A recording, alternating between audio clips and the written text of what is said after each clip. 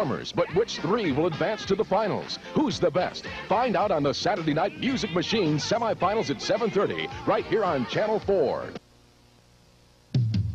Days of Our Lives and Another World will not be seen today, but will return tomorrow at their regularly scheduled times. Now stay tuned for a special presentation of the Detroit Tigers home opener next on Channel 4.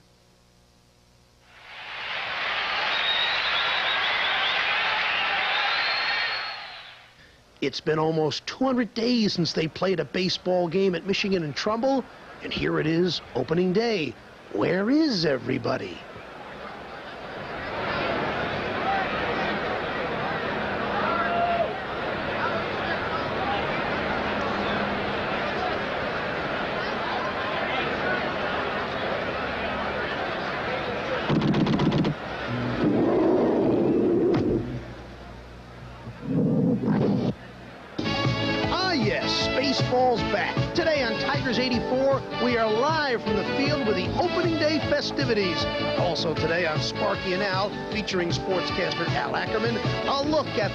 Essence of the streak. George and Al with a perspective from the broadcast booth, and we will look at the stars of the hottest Tiger start in decades.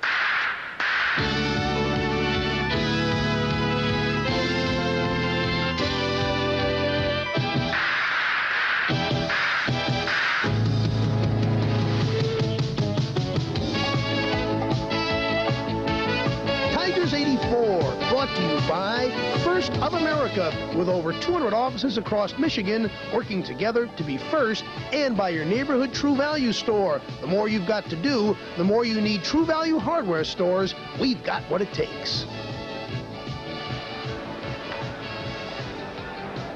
Again, everybody. You know, Garland Jeffreys wrote a song 10 years ago. It was entitled Wild in the Streets.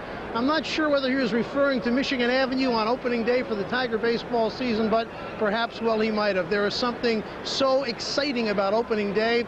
It's kind of like uh, unwrapping a present for the first time. The newness of it just kind of gets to you like it never can again after that. Opening day sometimes reminds me of St. Patrick's Day too, for lack of a better uh, lack of a better analogy, where it's an excuse, a justification to party down, and there are few bosses Scrooge enough to stop everybody's fun. So wild, and of course Michigan Avenue outside attests to that, which is perhaps the largest outdoor bar in the world today. Tiger optimism running very, very high, of course. They are 5-0 off to a fantastic start, and we are just about ready to go. I had this dream last night, I got to tell you. As we came out here on the field to begin the show, I was, uh, some security guards come through with their arms full of gifts, and they said, congratulations, you have just become the 1,000th man to ask for an interview with Jack Morris. I guess I am about the 1,000th guy. Come on here, Jack. I said, hold the gifts. I'll just take the, I'll just take the interview.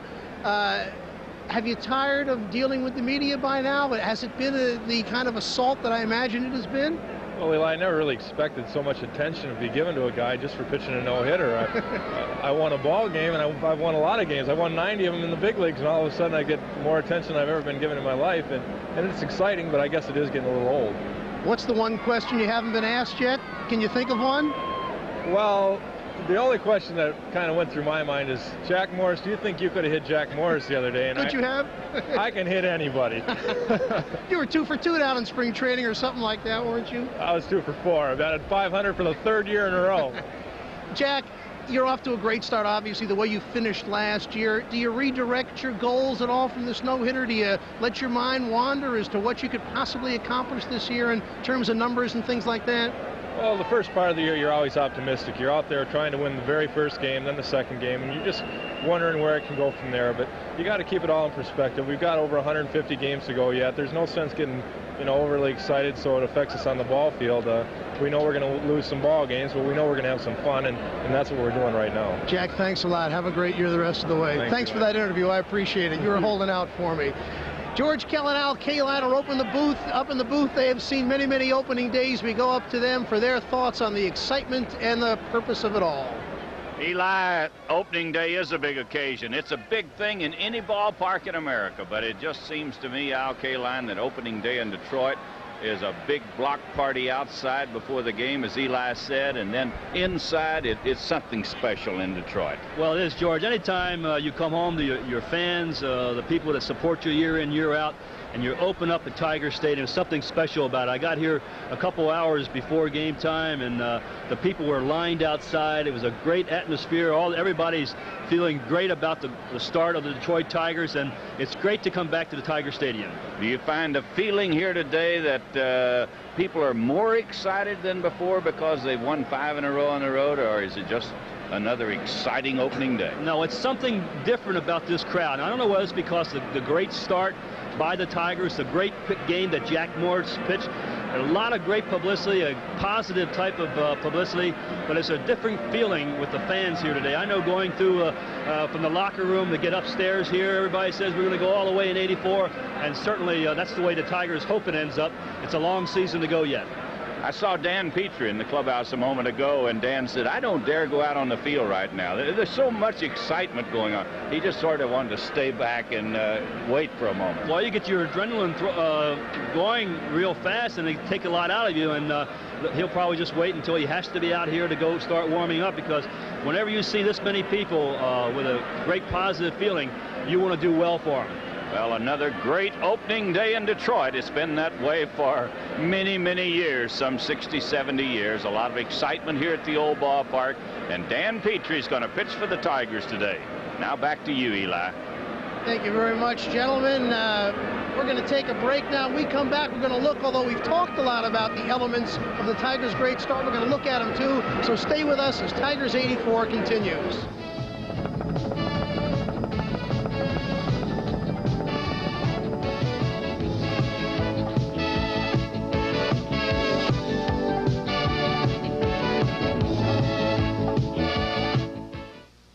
Looking at America's new Pizza Pizza generation. Because Little Caesars knows that everybody loves pizza. We give you a lot of pizza to love. We use America's finest meats, cheeses, and flour. So Pizza Pizza not only tastes great, it's great for you. Little Caesars Pizza Pizza. We give you a lot of pizza to love.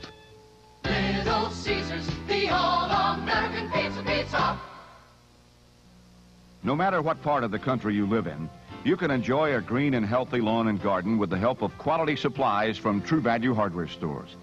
Give your lawn a clean, neat cut with the help of a Servest 3 horsepower rotary mower.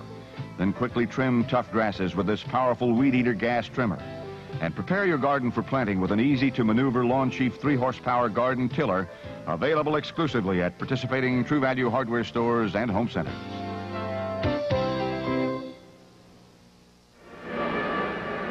Five straight wins, of course, don't happen by accident. You know, the oldest cliche in baseball is that it takes 25 men to win, and that's very true. And other than the few Tigers that haven't seen action yet, it indeed has been a case of everybody doing a little something to produce victory. Most encouraging is to see how the question marks, the new faces like Darrell Evans have come through. Evans jumped off to a big start with the game-clinching three-run home run opening night, and otherwise has a club-high five RBIs. Worried about making a good first impression, he has happily covered that. While Evans is DH'd, new guy Dave Bergman, the other half of the San Francisco connection, has been all he was hyped to be in the field, helping out in particular as a defensive replacement in Morris's no-hitter on Saturday. A little nervous at first at the plate, particularly on opening night, he's gonna settle down and hit. Meantime, Sparky's gone out of his way to get Willie Hernandez seriously involved as the bullpen stopper. So far, only Morris's no-hitter has kept Willie off the mound in every game. He's thrown his blazer in all four others and given up just two hits in five innings, and he's become the finisher, taking some of the load off Lopez. The two Latinos, Lanzaderos de Fuego, flamethrowers, to put enemy hitters in a Hispanic panic in 84. Barbaro Garbey busted Sunday's fifth straight win open with a pinch two-run double. Sparky raves about his hitting. By the looks of it, fast hands and an ability to spray, Barbaro could be dangerous. So far, Kirk Gibson looks like the brand new man we were promised. His Kaline coached fielding has been solid. He has two homers already and three extra base hits. Watch out for a trim down and determined Gibby. Of course, it's taken the customary work of the proven stars to provide the performance base.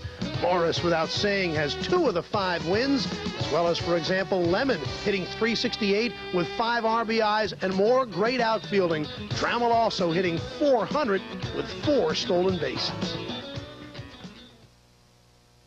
Speaking of whom, we are here with Alan Trammell. Alan, let's get this out of the way real fast. Notice you signed a two-year contract extension. What was the motivation to tie yourself up until 89? well, Jim Campbell and Bill Lajoie called me in the office during spring training, and uh, the offer overwhelmed me, and uh, I just decided to take it. So it was just two more years? Yes, it was. It, uh, I was signed through 87, and uh, they extended my contract. They didn't renegotiate. It was just an extension. Now, pardon me for saying, but every time I look at last year's stats and I see you fourth in the league in hitting at 319, my eyes kind of bug out a little bit. Uh, that was obviously a little beyond your expectations, too? Well, I don't really think that uh, I think I'm capable of doing great things, and I don't uh, see any reasons why I can't continue to hit well. Uh, who knows if I'm going to hit 319, but if I can hit 300 and get on base like I'm capable of, we're going to score a lot more runs so far this season, every game I've seen, and it's been most of them, I'm really overwhelmed by the determination. That's a become a cliche of sorts, but it seems like the Tigers are uniquely determined. Do you, do you feel anything thus far? Well, we've gotten off to a great start, and uh, everybody's feeling very confident right now, and hopefully it'll carry over. We know we have a long season, but it's also it's very nice to get off to a 5-0 start. I know you got to play it one game at a time. That's an old cliche, too. But don't you have to think about the streak, how far it may go, and things like that? Well, I think anytime you open up, we've looked at uh, what Oakland and the Atlanta Braves did a few years ago, and we're looking at that. But you do have to take them one at a time. Uh, we like to get in the record books just like Jack Morris did the other day. But, uh, you know, it's a long season, like I said, and we're just going to try to take them one at a time. Alan, thanks a lot. Thank Good luck to you. We'll be back with more, including Sparky and Alan, more Tigers 84 after this.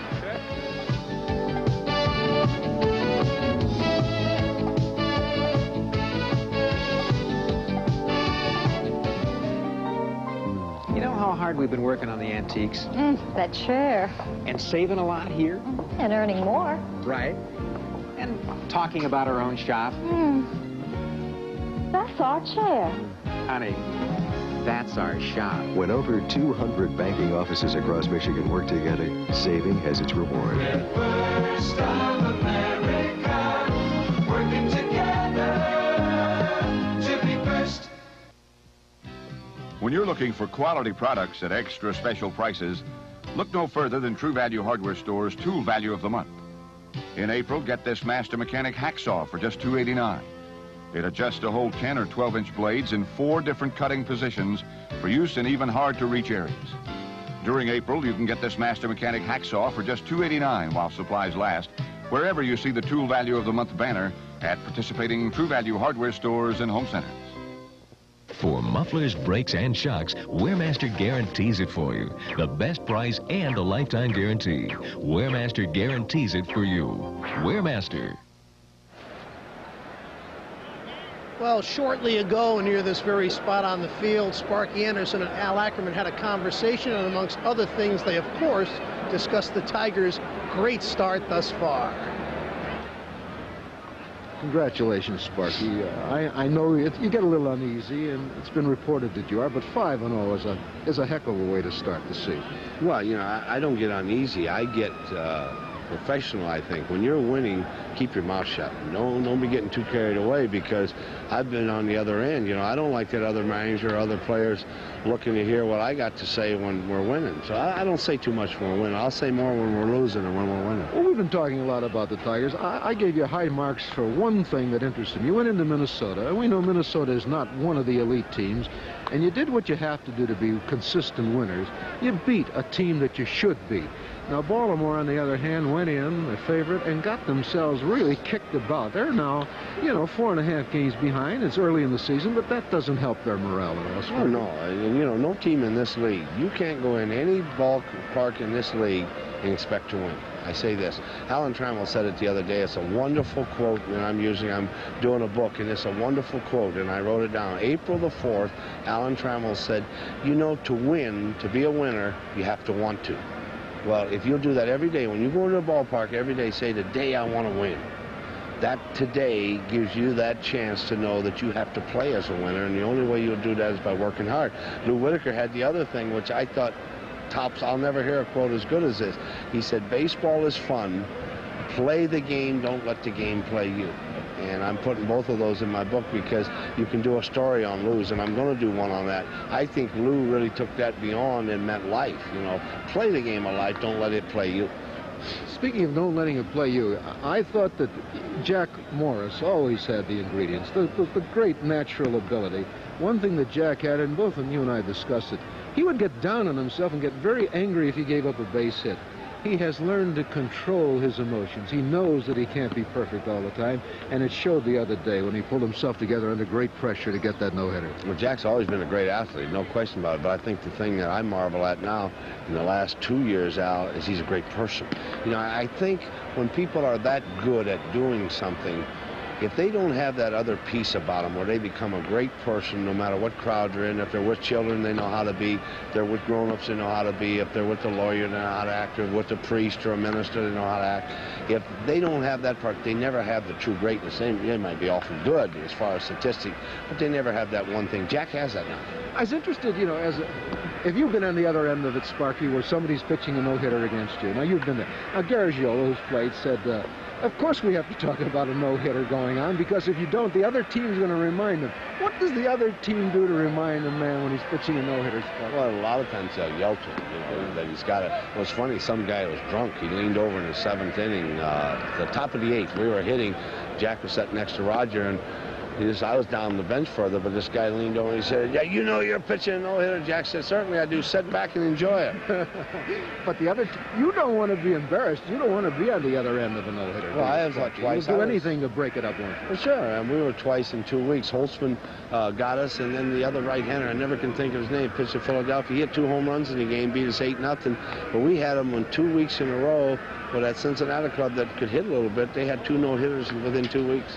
One final word, Sparky. I was glad it was on national television because I said on the air, I never knew how good the, the 76 Reds were until I saw them in the World Series. I never knew how good Roberto Clemente was. Now I'm glad that the rest of the country is seeing how good the Tigers are. I think it was great that it was on national television. Well, they're going to see a great team. This is this is an outstanding baseball team. Congratulations, All right, Good thank start. you. Have Appreciate opener. Eli, Thank you, Al. You know, uh, millions of Tiger fans today are not just hoping for their sixth straight victory of the season, but in the back of their mind, they hope they get to see a couple of perhaps scintillating plays or great catches in the outfield, something like that. 1983 had many, many of them, and let's look back at some of the spectacular plays of the season.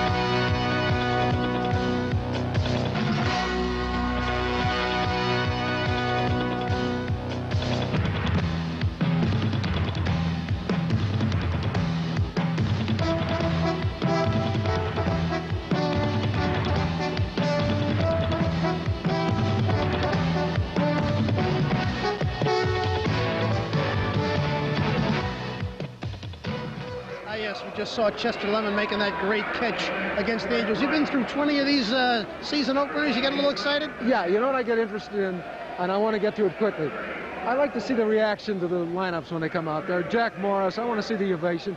I also want to see what happens when the governor and the mayor come out. There'll be quite a crescendo here, and I think this is a rare opportunity, the only opportunity of my lifetime that I've seen opening day televised, and I guess we're going to go take the starting lineups as they're introduced to this crowd here at Tiger Stadium. you know. Okay, let's do that. Sell. Number 29, Marv Retman. Number 37, Rich Donnelly. Number 42, Wayne Terwilliger. Number 52, Dick Such. The trainer is Bill Ziegler, and the equipment manager for Texas, Joe Macko. Texas Rangers.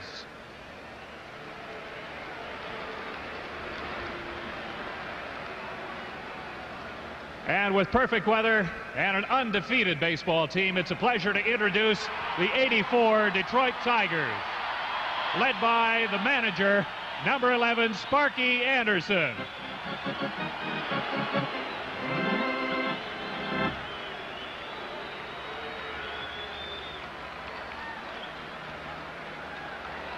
And the players in numerical order. Number one, Lou Whitaker. Number three, Alan Trammell. Number eight, Marty Castillo.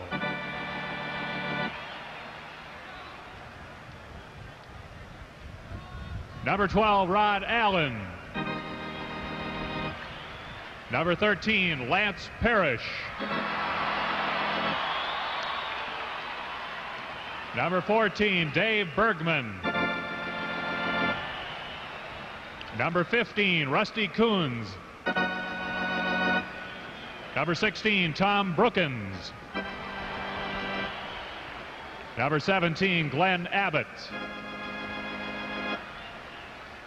Number 19, Dave Rozema. Number 20, Howard Johnson. Number 21, Willie Hernandez. Number 23, Kirk Gibson. Number 25, Dwight Lowry. Number 27, Barbaro Garbey. Number 29, Aurelio Lopez. Number 30, John Grubb. Number 31, Larry Herndon. Number 34, Chet Lemon. Number 39, Milt Wilcox. Number 40, Doug Bair. Number 41, Darrell Evans. Number 44, Juan Berenguer. Number 46, Dan Petry. And number 47, Jack Morris.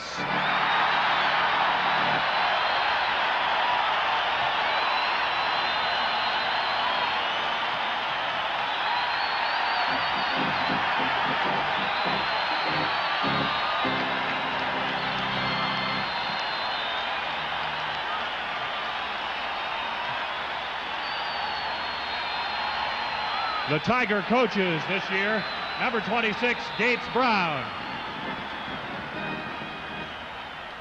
Number 26, Gates Brown. Number 38, Roger Craig. Number 50, Billy Consolo. Number 51, Alex Grammas. Number 53, Dick Tracewski. The trainers, Bill Behm and Pio DiSalvo. And the equipment manager, Jim Schmakel. The 1984 Detroit Tigers.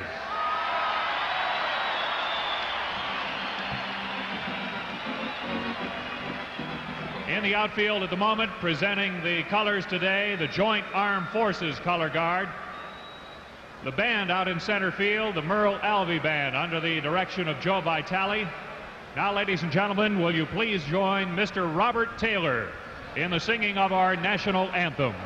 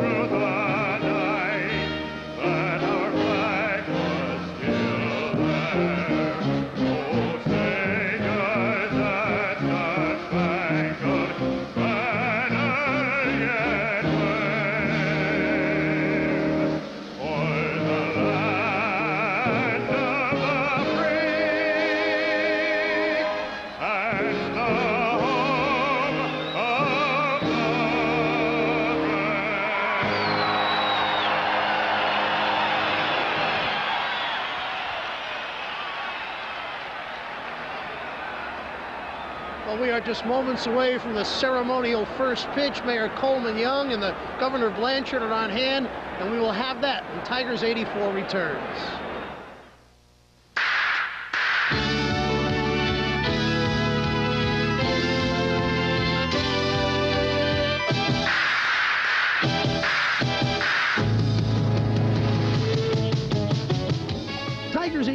Continues. Today's game is brought to you by Miller High Life, the best beer for the best part of the day. Welcome to Miller Time. By Chevrolet, America is on the move and Chevrolet is supplying the wheels. Chevrolet and you taking charge. By your local McDonald's restaurants, a proud sponsor of the 1984 Olympics. By Highland Appliance, everything you never expected from an appliance store. And by America's largest carpet retailer, New York Carpet World, the better carpet people.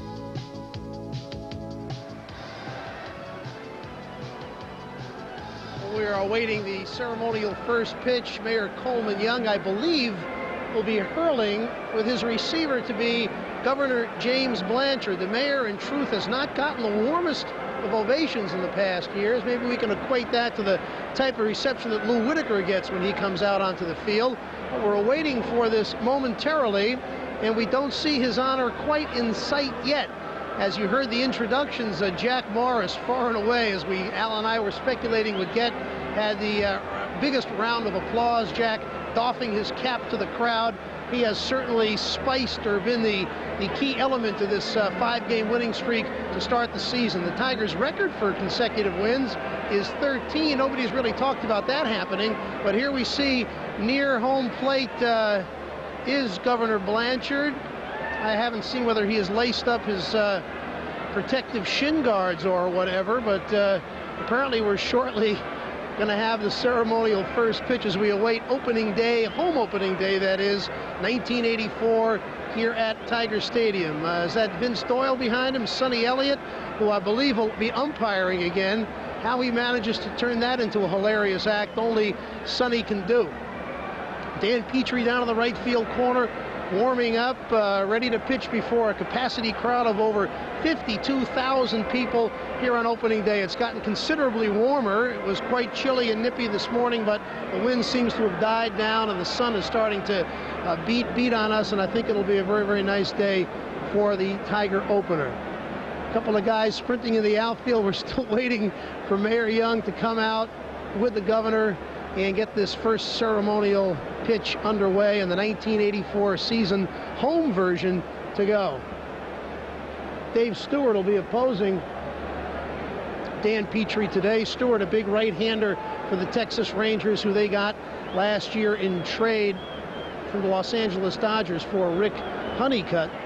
Honeycutt was somewhat of a disappointment for the Dodgers, whereas Stewart has turned into be a fine addition for the Rangers, a relief pitcher who now enjoys a starting role. Most of the fans are in place, sun in the bleachers, the beach ball starting to go. We hope we don't have too many incidents of them floating down on the field this afternoon. Big crowd over by the Tiger dugout, as there always is on opening day. It seems like every reporter from every surrounding state comes down to see the Tiger opening day, get a few interviews, and just feel the flavor of it all. You see Sonny Elliott there with his catcher's, uh, I should say, with his protective chest pad about to put on. Not that he really needs it. The mayor uh, is not, doesn't have that deadly of a fastball.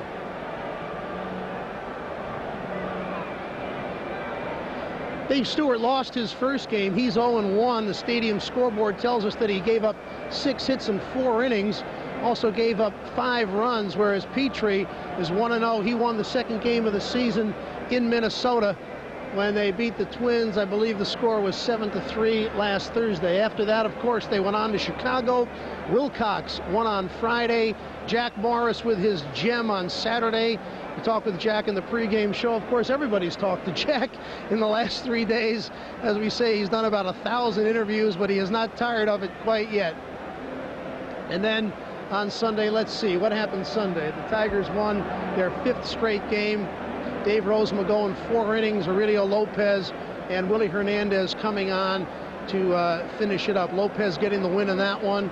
And Hernandez, who has certainly been the workhorse thus far, pitching in his fourth game. He's pitched in every game except, of course, Morris's no-hitter, and you get the feeling that hadn't Jack had a no-hitter going, he would have pitched in that one also. Well, we were supposed to pretty much begin the ball game at 1.30. That's what time it is now. As we're still awaiting the first pitch, the ceremonial first pitch. Governor Blanchard and his umpire, Sonny Elliott, are here. I imagine we are waiting for the presence of his honor himself. The rumor was Tom Selleck, that famous Tiger fan, was going to be in town for this, but that apparently did not come to pass.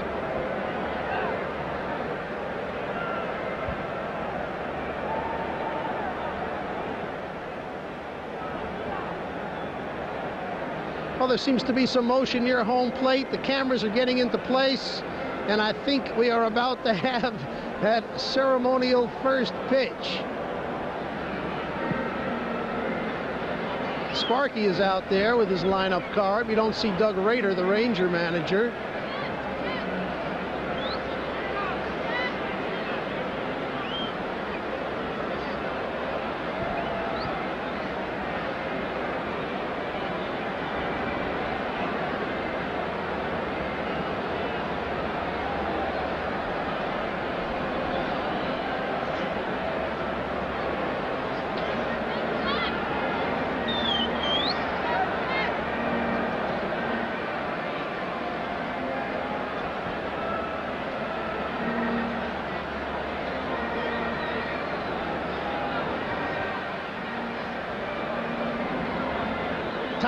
Course, in first place with a 5-0 record. They have a game and a half lead over the Cleveland Indians.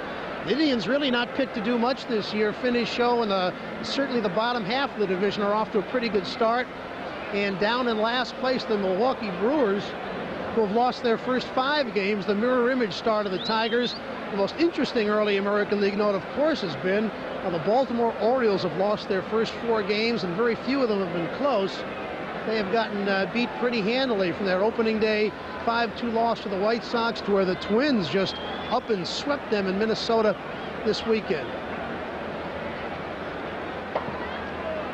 Dan Petry will try and get his second win. He'll be the second Tiger to have a couple of wins. Of course, Jack Morris has two. Jack was named American League Pitcher of the Week to no one's surprise at all with an 0.56 ERA in that 2-0 record. We're going to go to John Bell now, the public address announcer. Ceremonial first pitch to get the 1984 baseball season underway. At home plate, at home plate, assisting, I guess, in umpiring this will be Sonny Elliott.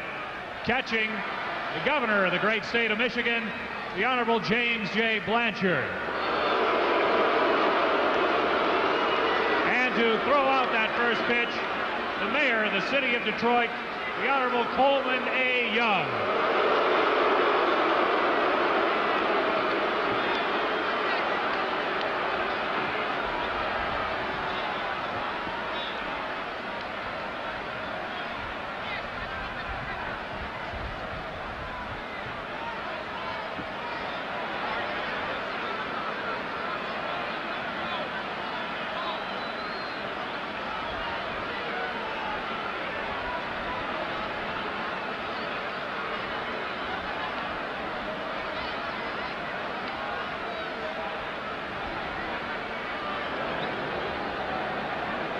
Well, as usual, Sonny's giving him instructions.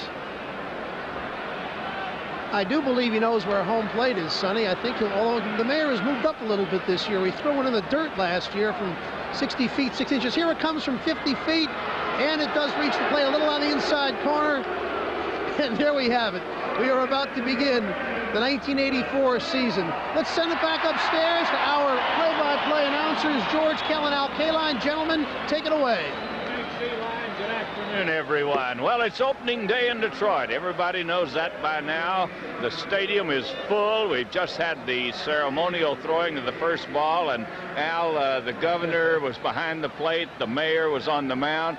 They booed them both, and as you said, they boo anybody that walks out there. It's, it's a tradition here. I, I would imagine just about every ballpark in the country, whenever a dignitary throws out the first ball, they get a very big round of boos. That's just part of opening day, and everybody's in a very upbeat mood here today at Tiger Stadium. The Tigers and the Texas Rangers getting ready to go to open the season here in Detroit. Dan Petry's going to pitch for the Tigers. He won his first start of the year. That was in Minnesota. He beat the Twins 7 to 3, and it'll be Dave Stewart going for Texas. And we're going to be right back with Tiger Baseball after this message.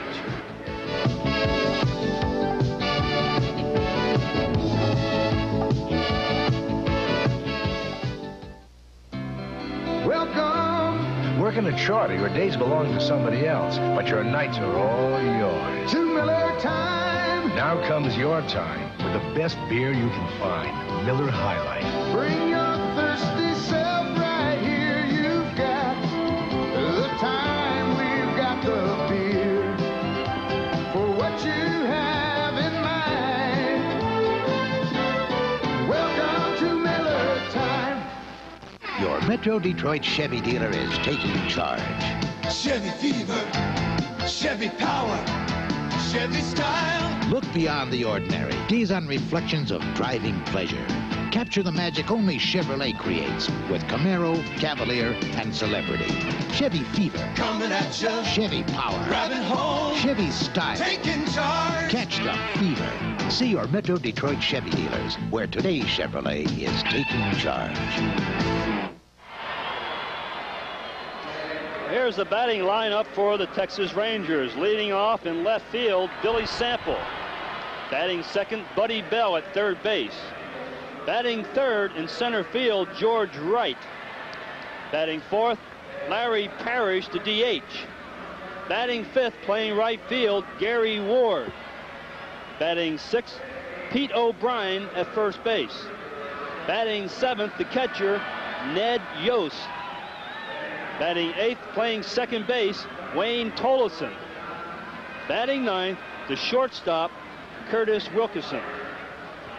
Defensively for the Detroit Tigers around the infield, Bergman at first base, Whitaker at second base, Trammell shortstop, Howard Johnson playing third. Around the outfield, Herndon in left, Lemon in center, and Gibson playing right field. Lance Parrish behind the plate for the Tigers. And Dan Petry going after his second win of the season. He uh, pitched the second game in Minnesota where he was a winner, 7 to 3, pitched seven innings, gave up five hits, three runs, two earned runs, four baseballs, and had one strikeout. Dan Petry has never pitched an opening day at Tiger Stadium. However, last year, April 12th, he uh, pitched in Yankee Stadium. That was the home opener for the Yankees in front of a record crowd, 55,579 people. And the Tigers were winners that day against the Yankees, 13 to 2. Dan's record, career record at Tiger Stadium, 30 wins, 16 losses. Despite, uh, only uh, being six and six last year, his career record against the Texas Rangers, five wins, four losses. A year ago, one win and two losses. So Dan Petry has had some trouble with these Texas Rangers. Great sunny day here at Tiger Stadium. The wind blowing straight in from right field. Probably one player on the Tiger team right now, wish the, it was overcast, would be Kirk Gibson, who uh, had some trouble here opening day, and this can be a terrible ballpark early in the season and late in the season playing right field. Dan Petry on the mound for the Tigers, going for win number two in this 84 season. George? Well, we're ready to go, Al. Billy Sample will lead it off for the Rangers, followed by Buddy Bell, and then George Wright. Just a beautiful afternoon here in Detroit. You couldn't ask the weatherman to do any better by. Bright, sunshiny day. Temperature is supposed to reach about 62 degrees. There is a breeze, a rather strong breeze, blowing from right field toward home plate. As we get ready for the first pitch in Detroit in this 84 campaign. And it's a strike. He got it over a good hard slider, and Petry out in front of Billy Sample. They'll try to keep the ball away from Sample. He's a good inside fastball hitter. They'll throw him hard stuff and breaking balls away if they can. Another hard slider, strike two.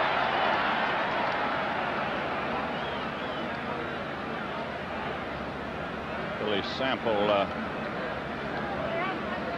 off to a slow start. This fellow's been a good hitter everywhere he's been. Had some great years in the minor leagues. He's batting at 222 here in this young season. Might have been the best minor league hitter ever. He averaged in three years, 358 in three years. Yeah, he had some great years. And the two strike pitch coming up. That'll make it one and two. Tigers are off tomorrow. They play the Rangers again on Thursday, and it might be just another opening day on Thursday because Jack Morris is going to pitch in that one. Here's one hit deep down the left field line. Herndon near the fence, and he's got it. Al, he hung it inside, just what you said, and uh, he hit it pretty good.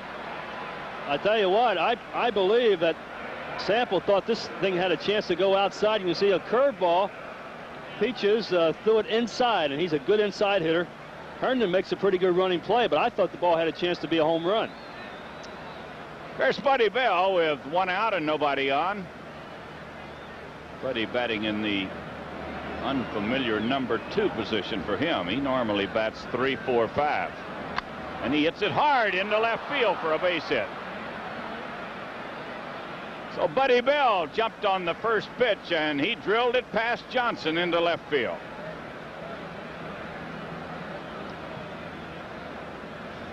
You can see Lance wants the ball outside. He throws it inside part of the plate, and Bell rifles it. They were playing him off the line, so that means that they want to pitch him outside, but uh, Dan Petry made a mistake and threw the ball inside. That'll bring up George Wright, the center fielder. This fellow is a switch batter, and he'll be batting left-handed against Petry. Maybe the best all-around player on the on the Texas ball club.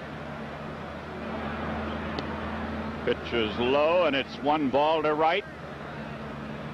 Kansas City is at Baltimore tonight. Minnesota at New York this afternoon. Cleveland in Chicago tonight.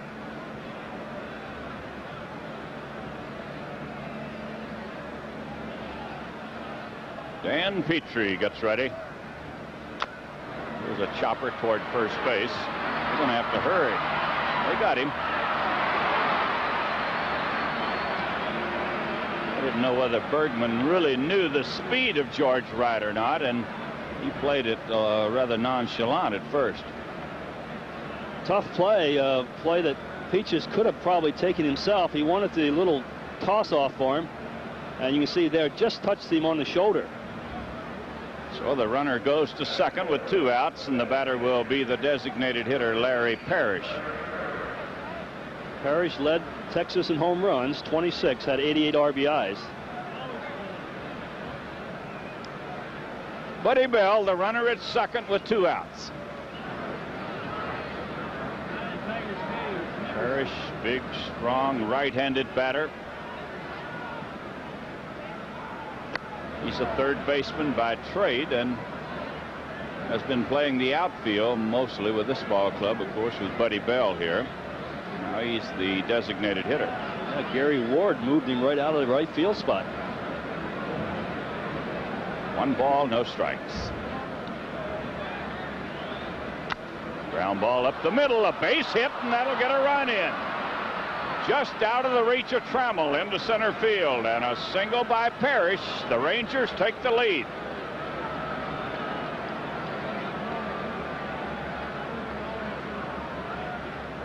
We'll take another look at it as he hits it hard. Yeah, he's Dan. Dan just not does not have his good control right now. Again, Parrish, uh, Lance Parrish wanted to pitch outside. He threw it down the middle of the plate. He just has not had good control with his pitches so far in this game.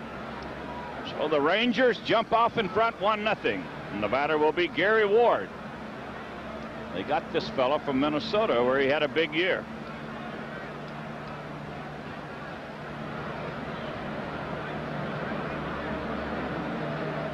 Single by Bell, a bounce out by Wright, got the runner to second. Then the single by Parrish gets the run in.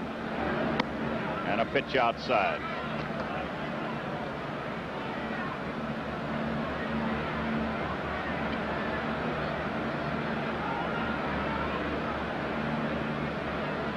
Rangers have hit the ball rather hard off Petry here in the first inning. It's a strike. Gary Ward tried to check his swing, went too far. Makes it one and one.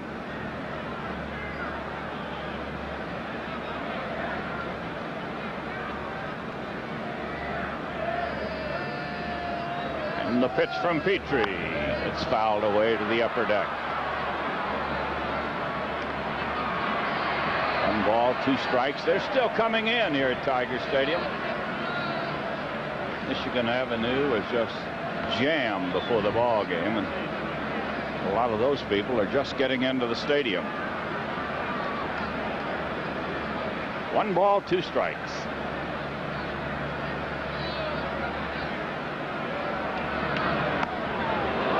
And he misses inside, makes it two and two. Petry thought he had him struck out. Pitch just off the corner. Ball two and strike two.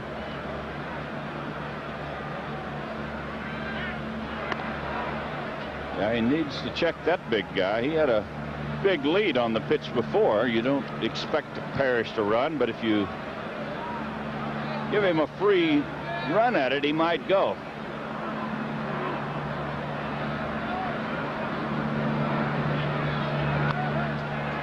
Gary Ward just got a piece of it, and the count remains two and two.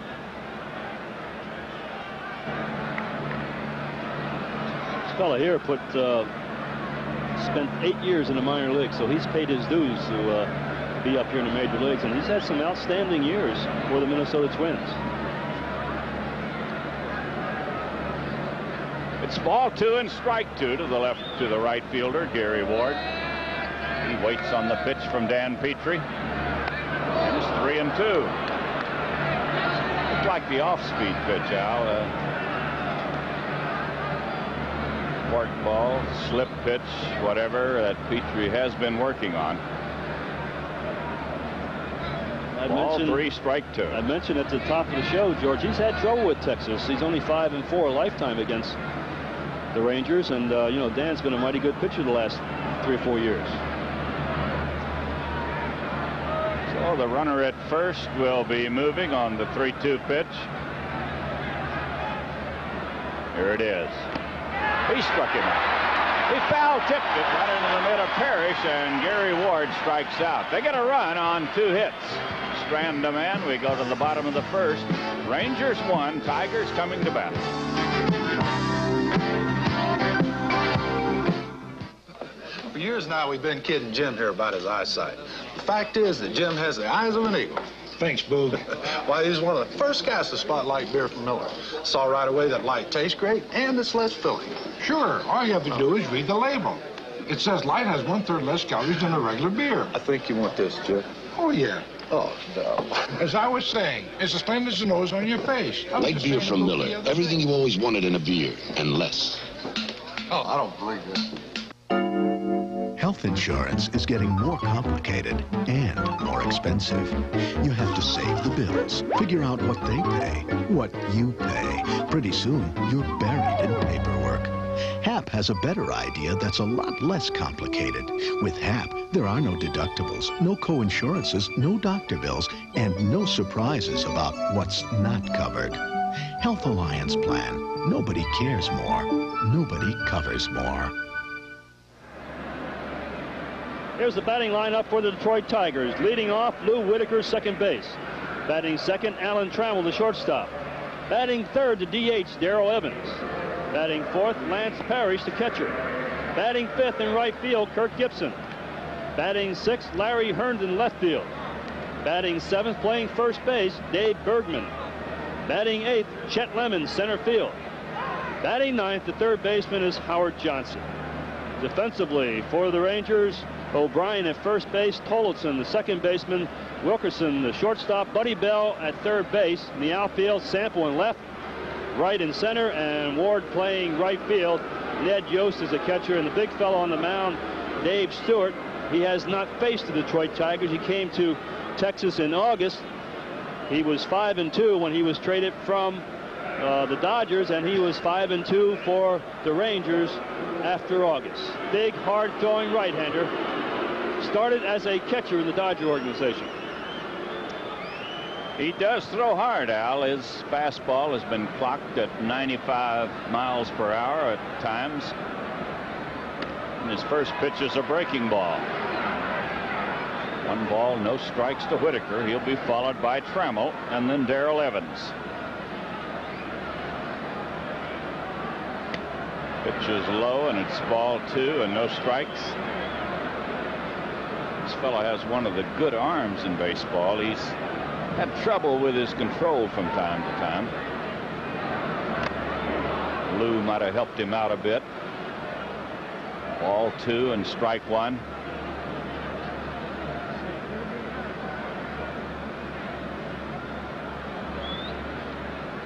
Dave Stewart delivers low and it's ball three. Stewart lost his only start of the season. He only lasted four innings against Cleveland. He was a 7-3 loser uh, in that game. Gave up five earned runs on six hits. Ball three, strike one to the leadoff man. And he walked him. So Whitaker is on with a walk to start the game. And the batter will be Alan Trammell.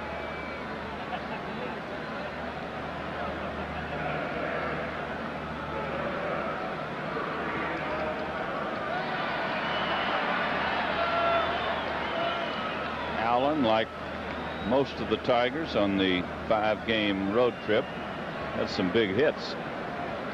Al off to a great start. He bats with a runner at first and nobody out. As Dave Stewart gets ready. Breaking ball outside. That's a hard slider from Stewart. He hasn't thrown but one fastball. And he is a fastball pitcher.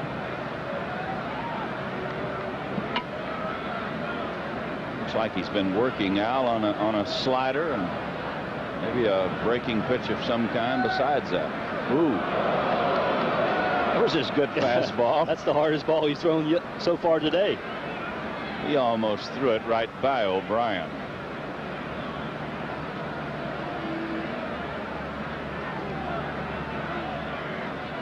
One ball, no strikes to Trammell. He goes to first again.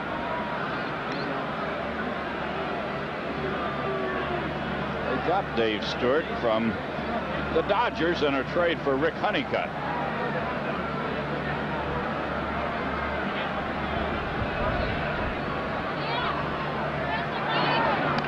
A strike. He gets it over, and it's one and one to Trammell.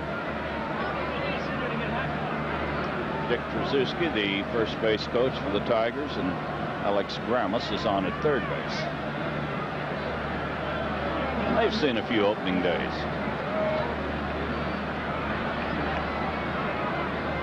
One ball, one strike. I tell you, if he doesn't throw that pitch right where O'Brien's got the mid, he's going to throw it by him.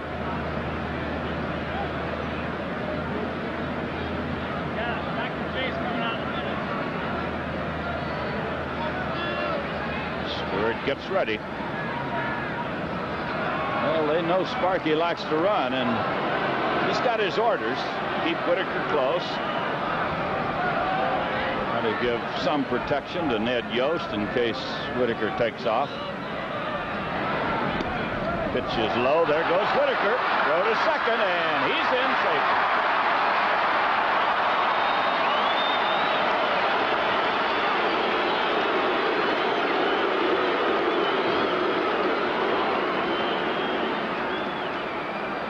As a heads-up play by uh, Lou Whitaker, the ball was not very far away uh, from the catcher Yost.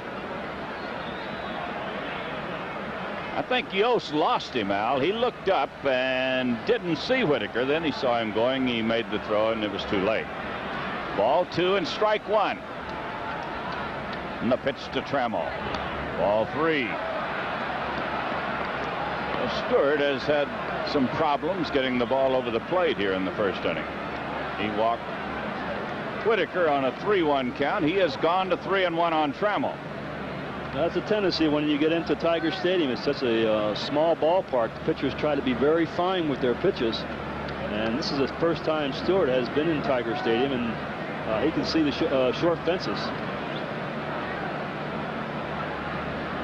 Ball three, strike one. Runner at second, nobody out. We're in the first inning. And he walked. Trammell gets a walk. Tigers put him at first and second with nobody out.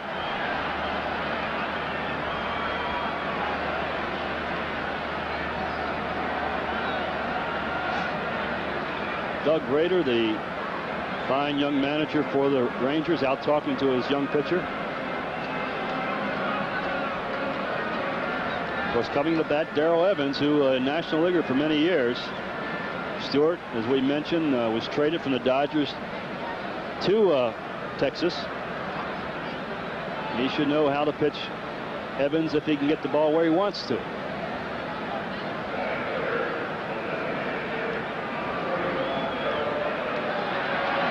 Well, the conference is over at the mound. Tigers have them at first and second with nobody out, and Tiger fans will get their first look at home against for Darrell Evans. Here's the pitch. Outside, he just missed on the corner. One ball, no strikes. He's been close with the last few pitches, but as Al said, he might be trying to be a little fine in this ballpark. There's a long drive. Oh, it's gone. Way back in right field. What a way to start. Welcome to Tiger Stadium's Darrell Evans. 43,000 people here on their feet, and he hit a rifle shot way back up in the upper deck.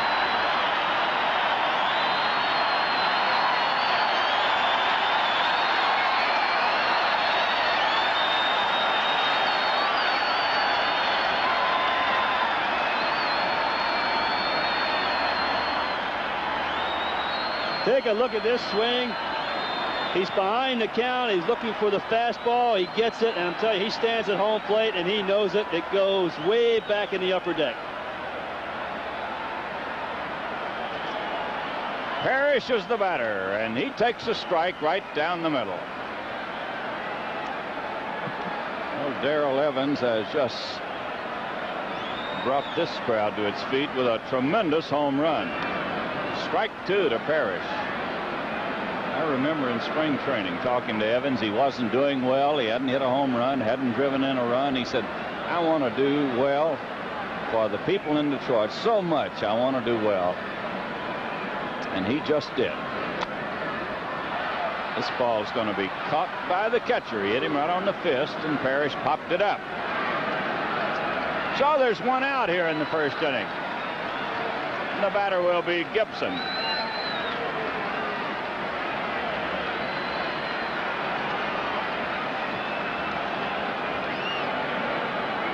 Gibby's had a couple of home runs here in this young season. He hit one out here in the first inning. the batter will be Gibson.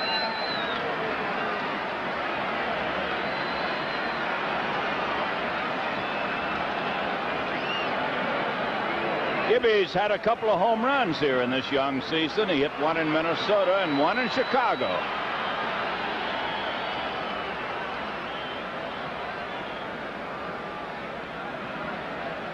Dave Stewart delivers. Ooh, he had a rip at it. One strike. The home run that Gibson hit in Chicago on Sunday was very much like the one Evans just hit. Never any doubt about it.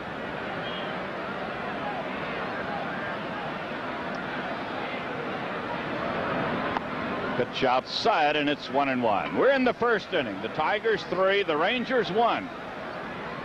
Both clubs trying to settle down from the opening day jitters. Ball two and strike one.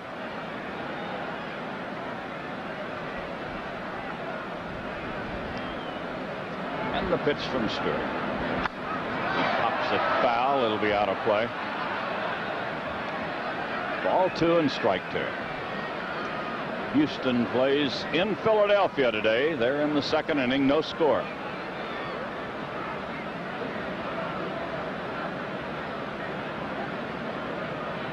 Gibby waits on the 2-2 pitch. Ball three. So far, Gibby has been very good at laying off the high fastball. That was a pitch that gave him a lot of trouble last year. So far, he's been able to lay off of it. There's a shot into right center field. Gibson makes the turn. He's headed for second, but now he comes back. Oh, he could have made it, but Gibby didn't give it a try. He made the big turn. He had it in his mind, but he pulled up short. Oh, he hits it like a shot, trying to protect the plate, and uh, as everybody knows, if Gibby can hit the ball enough times, he will hit well. This would have been a tough play for the center fielder to turn to throw Gibson out because he was going towards right field. That'll bring up Larry Herndon.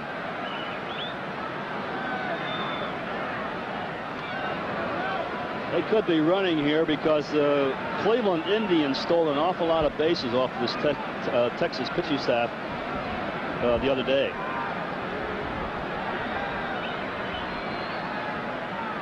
Dave Stewart is ready. Stewart is not sure at all that Gibson is not going to be running.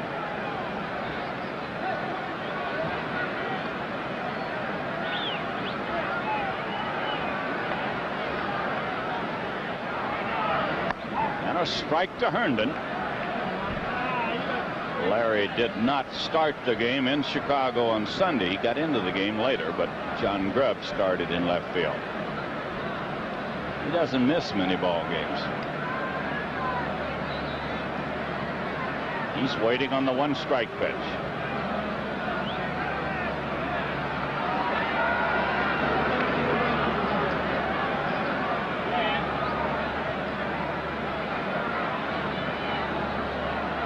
Gibson at first, one out, three runs in here in the first inning.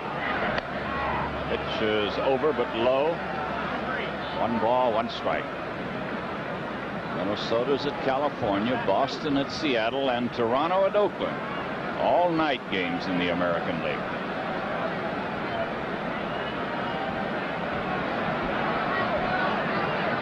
One ball, one strike.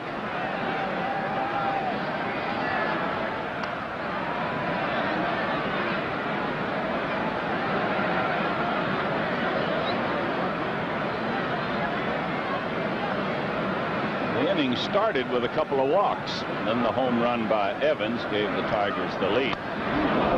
Herndon has a rip at a fastball, makes it one and two.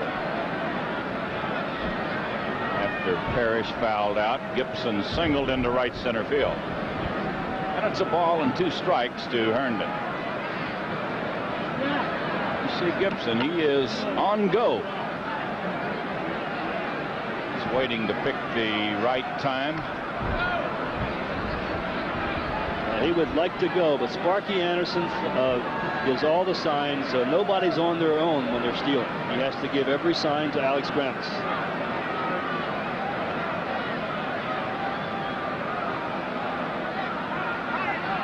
Herndon says you're taking too much time. It's been a long first inning for both Petry and Stewart. Dan gave up a couple of hits and a run. Stewart has walked two. He's given up two hits. And another foul ball. This will be out of play.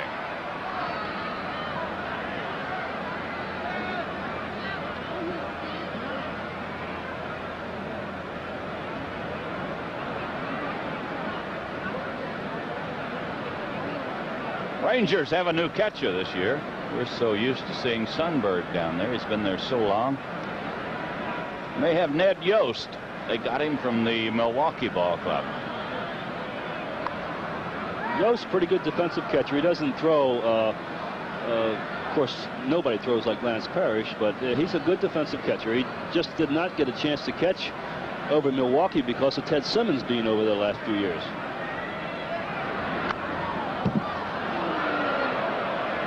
Stewart is pitching tough to Herndon. He had to fight that one off to foul it back. Oh, comes a little bit three quarters motion, throws extremely hard, and he can be tough on right-handed batters.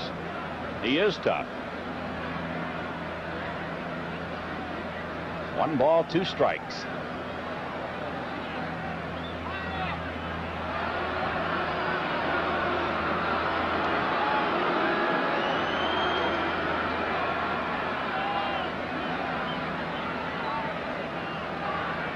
Now we're ready to go as Herndon gets back in. We'll make it two and two to Larry.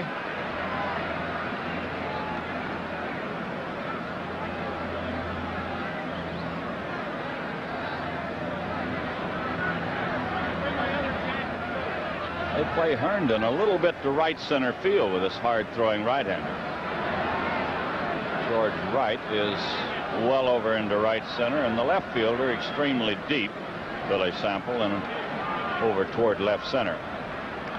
Can you imagine what those fielders of the Texas Rangers are going to feel like come July and August in that heat with a slow pitcher like Stewart on the mound?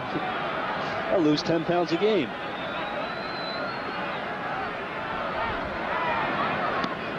Ball, he got it over, but low, and it's three and two.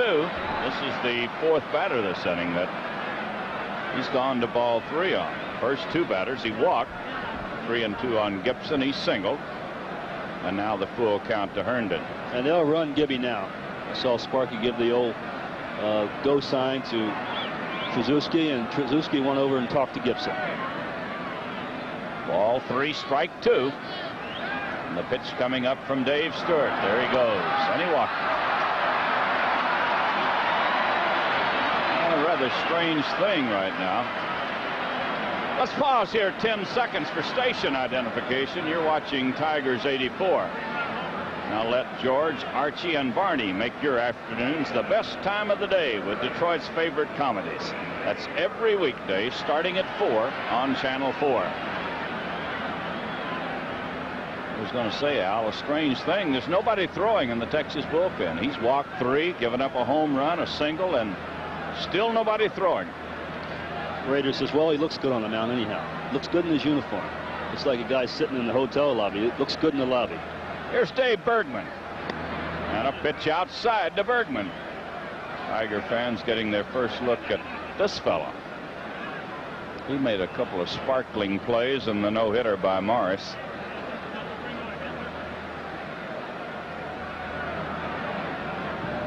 Gibson at second, Herndon at first, one out and a strike. One ball, one strike to Bergman.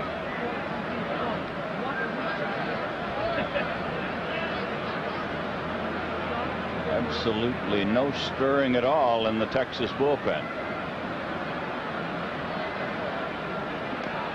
Dave Stewart is ready.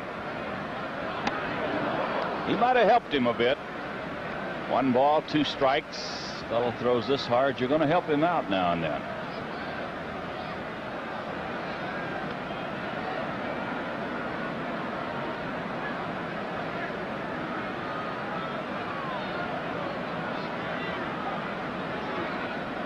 Stewart checks his runners. Ball bounces away uh, for a moment, but no advance. It looks like when he keeps the ball down, the, ball moves an awful lot. Yost is having a lot of trouble with that pitch, and, and actually it's it's not a bad pitch. It's not too far from being out of the strike zone, but it must be sinking an awful lot. It's ball two and strike two to Bergman.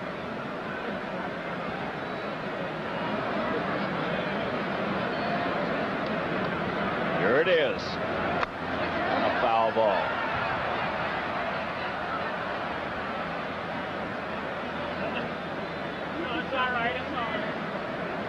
Could be a good time for a, a steal here, uh, George, or attempted steal. He's just throwing a pretty good fastball. He had a good rip at it. He might come back with a breaking ball and might catch him by surprise. Ball two and strike two, and there they go, and a drive into left center. Sample is there. He'll put it away, and there's two outs. Well, they had him running. Bergman hit the ball well into left center field, and Billy Sample ran it down.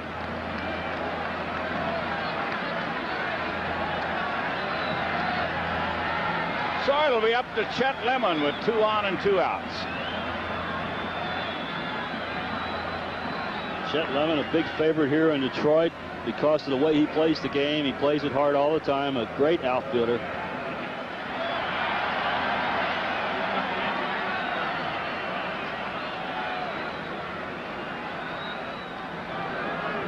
Gibson at second, Herndon at first, two outs, three runs in here in the first inning. And a pitch in tight.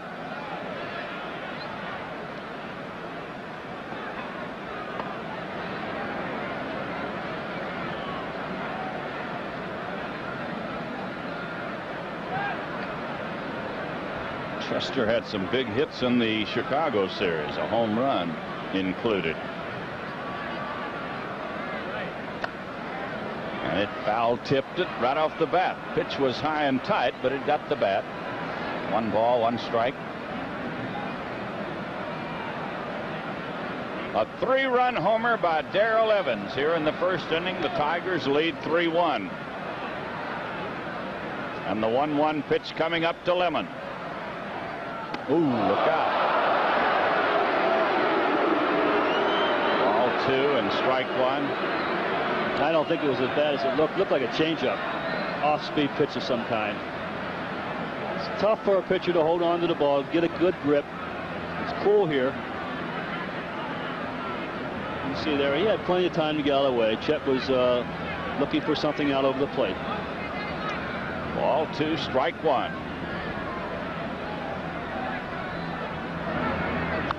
Ooh, he had a good rip at a fastball and fouls it back. Count is even at two and two to Lemon. If you've just joined us, Whitaker walked to start the game. Trammell walked. Darrell Evans hit one in the upper deck in right field to make it 3 nothing. Parrish fouled out. Then Gibson singled. Herndon walked. Dave Bergman flied to left for the second out. Now it's ball two and strike two to Lemon. And he just gets a piece of it.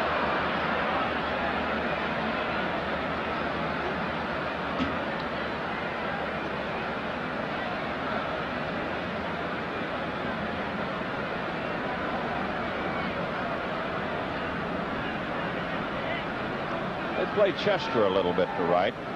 They're going to play most right-handed batters that way with this hard-throwing right-hander. Ball three. So the count goes full again. It's the fifth time here in the first inning the pitcher Stewart has gone to ball three. And there's the bullpen. Everything's quiet in the Ranger bullpen. Ball three, strike two, and the runners will be going. Here it is. He walked. So Lemon gets a walk. That's the fourth walk this inning. Tigers have the bases loaded with two outs. And the batter will be Howard Johnson. Well, that's going to have to get some action in the bullpen. I mean, you just can't let a guy go out there and, and hang himself. It's obviously he doesn't have uh, his good stuff. He's Yeah, been a good. He's been a good pitcher for a couple of years out on uh, with the Dodgers, and uh, he's just having some trouble throwing the ball.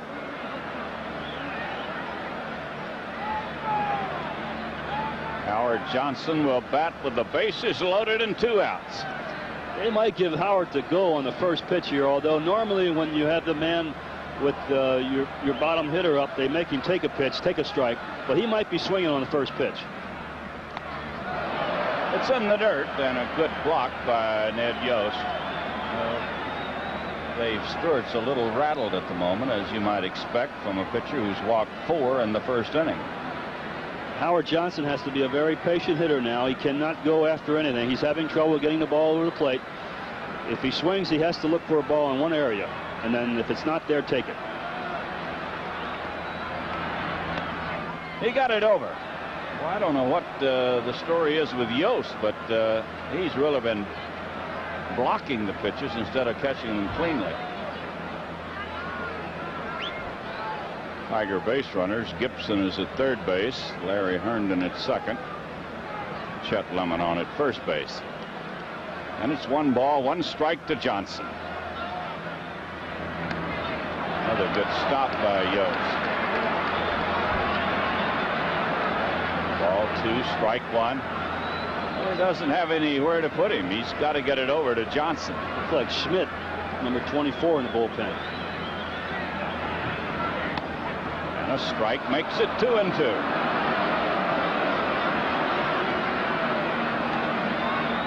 Ball two and strike two. Tigers have picked up three, still have the bases loaded with two outs. The pitch to Johnson. Well, he hit it a mile, but he pulled it foul. He hit it a mile and pulled it foul. Well, he really turned on a good fastball.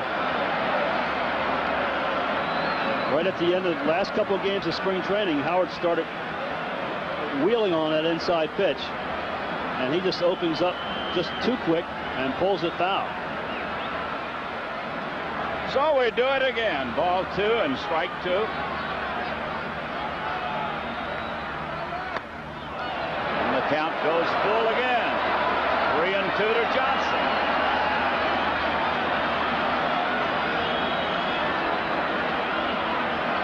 Ball three, strike two with the bases loaded, and they'll all be running. As Dave Stewart gets ready. Good score. Interference. Herndon was rounding third base, and Buddy Bell got right in his way. Well, you see Sparky out there now. He he wants interference call. It was ball four to Johnson. Ball got away from Yost, bounced away. We'll take a look at the last pitch. See, they're running now on the on the play. The ball gets by Yost. It goes to his right. Now, right about this time, Herndon is rounding third base. And uh, Buddy Bell stepped right in front of it.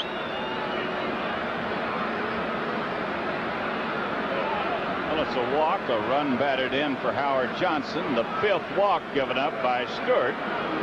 And Lou Whitaker will bat for the second time this inning. And that's going to be all for Dave Stewart. Well, that's enough to make a uh, a grown man cry. You have a pitcher with this ability not able to throw strikes, and a manager can put up with a lot of mis mistakes as far as uh, base hits and so on, but and errors even because it's part of the game. But just to be wild, five walks in one inning, you don't see that very often. No.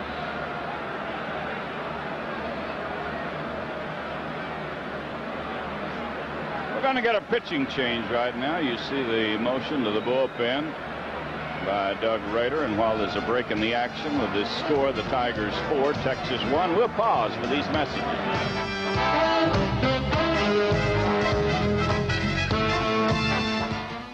Your Metro Detroit Chevy dealer is taking charge. Chevy fever, Chevy power, Chevy style. Look beyond the ordinary. Gaze on reflections of driving pleasure. Capture the magic only Chevrolet creates with Camaro, Cavalier, and Celebrity. Chevy Fever. Coming at you. Chevy Power. Grabbing home. Chevy Style. Taking charge. Catch the fever. See your Metro Detroit Chevy dealers, where today's Chevrolet is taking charge. McDonald's brings you the morning news. A hot, sizzling sausage McMuffin. A McMuffin sandwich with a sizzle in the middle. Come on in and try it. McDonald's and you. McDonald's has you. It's sausage McMuffin and sausage McMuffin with egg. McDonald's and you. The good news is their prices. 79 cents for our sausage McMuffin, 99 cents for our sausage McMuffin with egg. Two great breakfast tastes only at McDonald's. Well, finally, a new pitcher, Dave Schmidt, now pitching for the Rangers. Uh, Dave was born in Niles, Michigan. Uh, he has appeared, and you can see his record of a year ago. Uh, that is uh, a little bit. Uh, he had uh, uh, shoulder problems, surgery on his elbow, and he got a late start in 83. So he pitched rather well for the Rangers, even though his record was only three and three. he has pitched in one game, one inning, three innings so far this season over in Cleveland. Pitched three innings, gave up three hits, one run. His earned run average is 3.00. Good sinking fastball. Been used mostly in relief uh, by Texas. As I mentioned, uh, he was born in Niles, Michigan. Sinking fastball. So Tigers can really break this one open with a base hit here by Lou Whitaker. Sweet Lou steps in with the bases loaded and two outs. Tigers have scored four times here in the first inning. Lou opened the inning with a walk, scored the first run for the Tigers. Herndon, Lemon, and Howard Johnson are the base runners. And the pitch. It's a ball, and Boy, Yost looked like he wasn't looking for a breaking ball. He boxed that one around. He better let the arrow that glove of his, I'll tell you that. Looks like he's catching with a balloon. Everything's bouncing out. One ball, no strikes. Bouncing ball to second. That'll get him out of the inning. So Schmidt comes on to do the job. The Tigers get four in the inning on only two hits, but they had five walks. And at the end of one, they lead it four to one.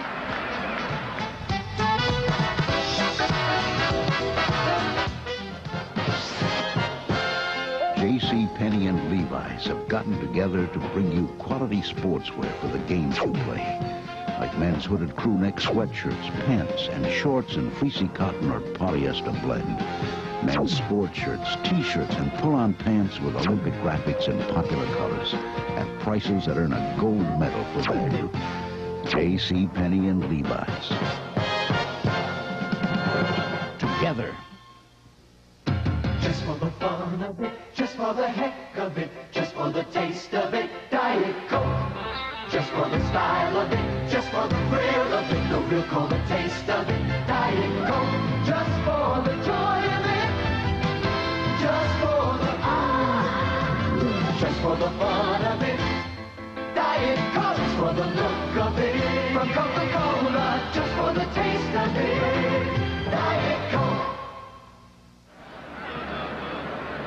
Here's our upcoming TV schedule. We're going to be in Boston on Sunday of this week.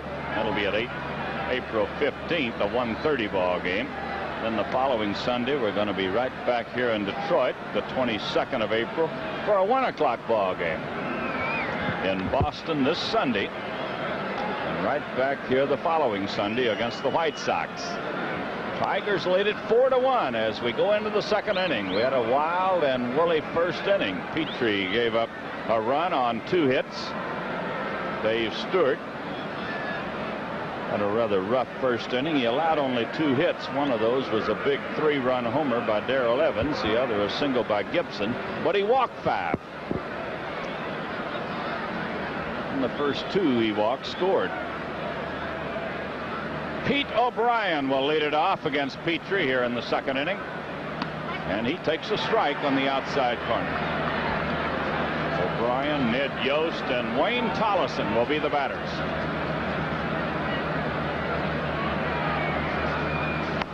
Strike two. Good hard pitch to the outside part of the plate, and Petry is out in front.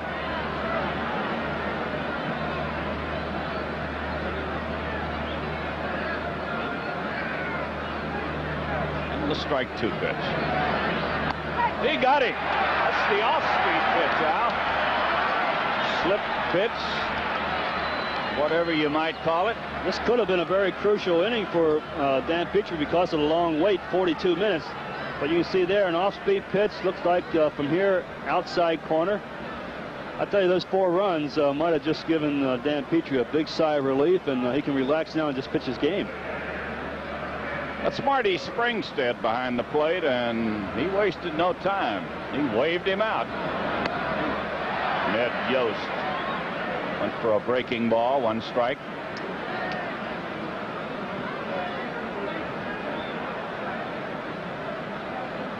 Yost batting with one out, nobody on.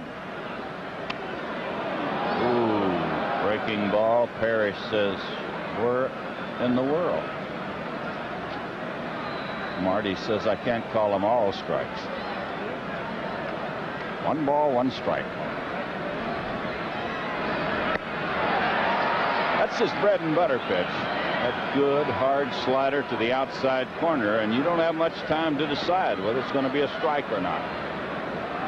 It's cold weather. You, you generally have, you want to get out in front. You don't want to get hit on the fist because of the cold weather, so you sort of jump at the ball. That'll make it two and two to Yost.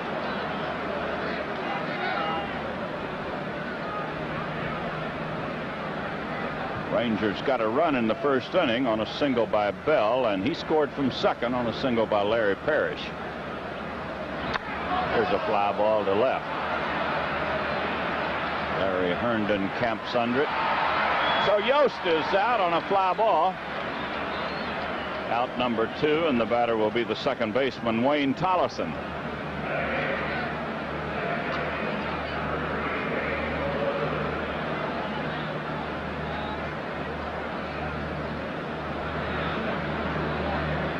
We're in the second inning, two outs, nobody on. See how this little fella chokes up on the bat. Tells you he's going to punch the ball around, and he has great speed. Yeah, good base runner. Stole 33 bases a year ago. George, he uh, started a season last year as a utility infielder. The regular second baseman got hurt, and now they can't get this fellow out of the lineup. And he checks the swing, makes it one and one. St. Louis at San Diego tonight. The Pirates are at Candlestick Park to play the Giants. This is foul. One ball, two strikes. Tigers have four runs on two hits, no errors. Rangers one run, two hits.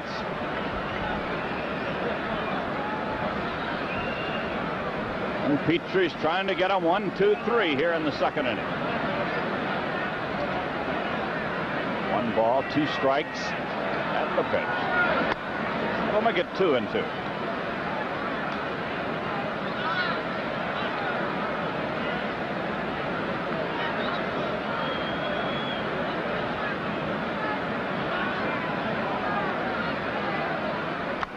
Opposite foul. This should get into the crowd and will. Petry hit him right on the fist. He popped it up, landed just beyond the Tiger dugout. A couple pretty good uh, wide receivers in college on this uh, ball field today. This fellow here led the nation one year in, in receptions, and of course Gibson, the great career he had at Michigan State as a wide receiver. A little bit difference in size Yeah. of the two fellas. Here's the 2-2 pitch. And another foul ball. Tolleson went to Western Carolina University, made little All-American. And he is little.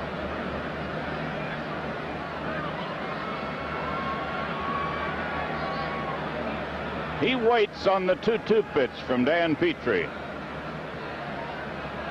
Right down the middle, and he got him. Third strikeout for Petry. He gets him one, two, three. We go to the bottom of the second. Tigers four, Rangers one.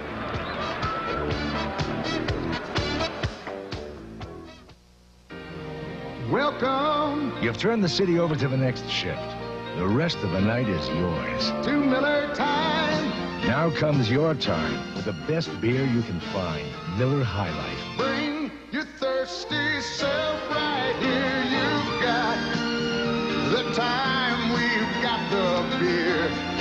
what you have in mind. Welcome to Miller Time. Chevrolet, is taking charge with a new high-output Camaro. A Camaro Z28 that did a test track 0 to 55 in 6 seconds. A Camaro with remarkable new handling. A Camaro with sure-footed braking. Camaro, more beauty, more beast. Chevrolet. And you Taking charge. Here come the Tigers in the second inning.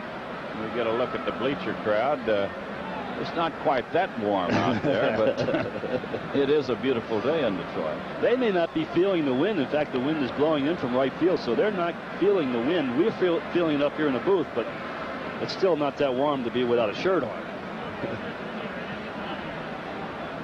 Trammell will lit it off. Alan Trammell walked, scored a run his first time up. And then it'll be Darrell Evans and Lance Parrish. Tigers got four in the first inning, and they lead four to one.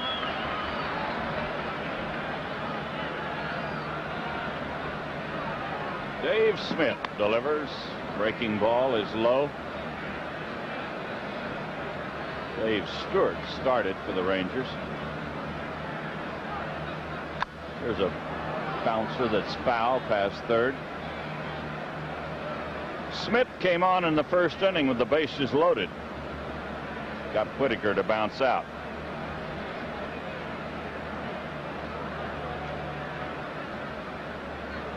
And the 1-1 pitch to Trammell. He checks his swing and hits it right back to Smith.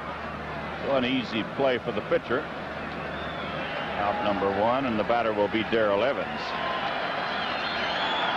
And he'll get a roaring salute from this sellout crowd.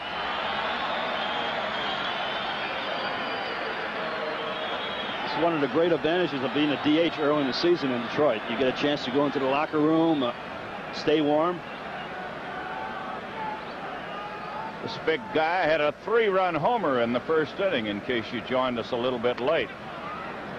And he takes a strike on the outside corner.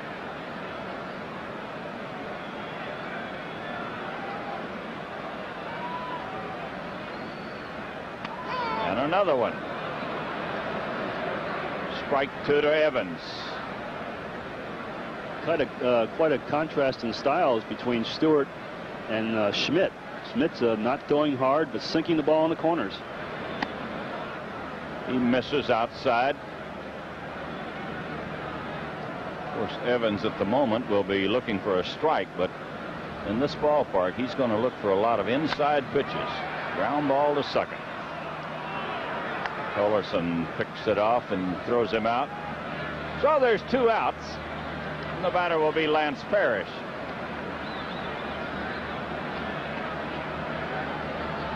Lance foul to the catcher his first time.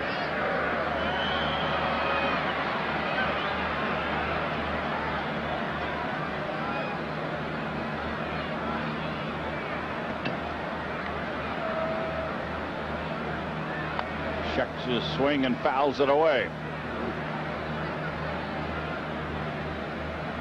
Lance is only batting uh, 111 on the year, but he could have had four or five more hits over in Chicago. Hit the ball very hard, but had nothing to show for it. Pitch and tie it, and it's one and one.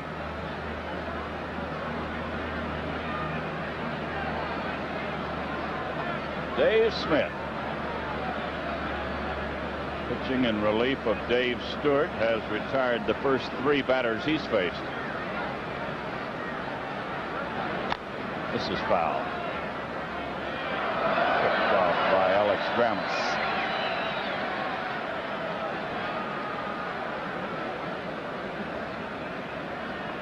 One ball, two strikes to the big guy.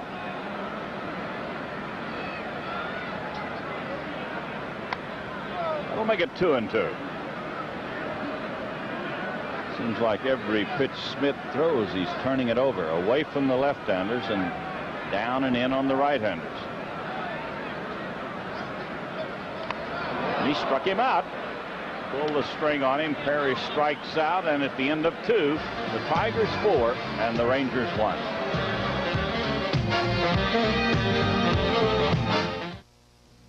McDonald's brings you the morning news. A hot, sizzling sausage McMuffin. A McMuffin sandwich with a sizzle in the middle. Come on in and try it. McDonald's and you. McDonald's has two. It's sausage McMuffin and sausage McMuffin with egg. McDonald's and you.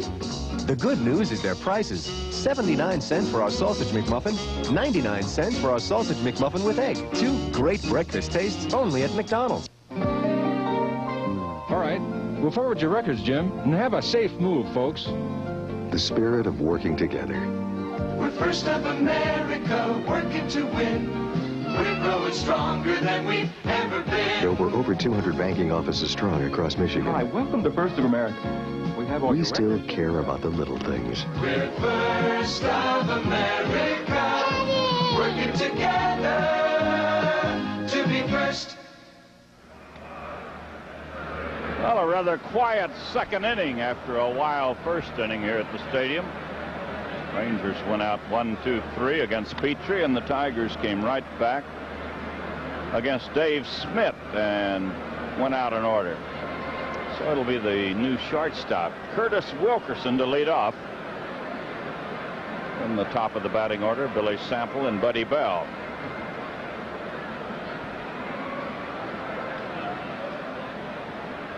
Well, the Tigers and Rangers will have tomorrow off, and they'll play again on Thursday.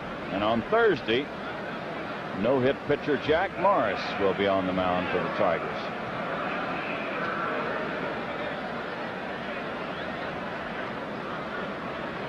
Curtis Wilkerson. Now it's the first time we've seen this Yeah, fellow. they, they obviously think an awful lot of him because they released Bucky Dent, very fine shortstop.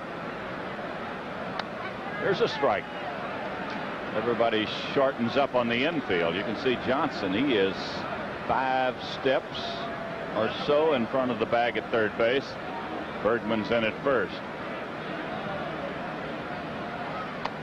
And a strike. He got the outside corner. So it's strike two to Wilkerson.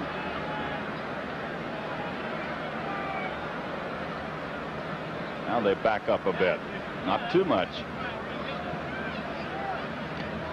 Pitch is low, and it's one and two. One ball, two strikes. We're in the third inning. Tigers lead four to one.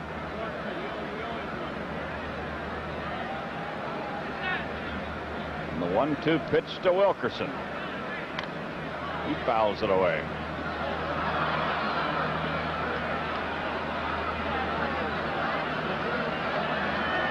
I don't think Bucky Dent's caught on with anyone. I haven't uh, read anything about it in the paper, no. They're carrying a pretty good price handle. Yeah, that that does hurt. He got him right on the outside corner, and Wilkerson is called out on strikes. Well, Petry going more and more to his curveball in the last two innings. Watch this pitch just flop on the outside corner.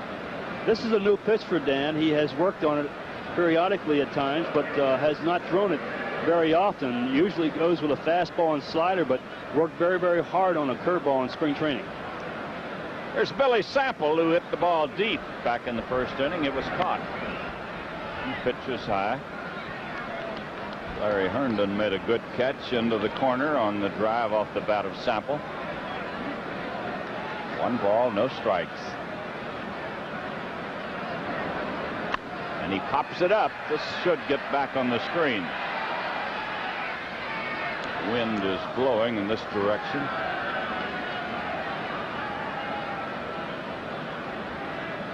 Petry has struck out four. In fact, he struck out four of the last five batters he's faced. He got Gary Ward to end the first inning, struck out O'Brien and Tolleson in the second inning, and Wilkerson to lead off here in the third. Howard Johnson playing off the line at third base now as a hitter is pretty good indication that they're going to try to pitch you outside. On a fly ball to center. Chet Lemon flips his glasses down. So Billy Sample is out on a fly to center.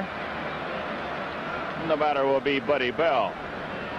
Buddy Bell, what a player he's been over his uh, his career. Five-time Gold Glove winner, you know, you sort of hate to see a guy like this uh, with been a great player really play on some bad teams.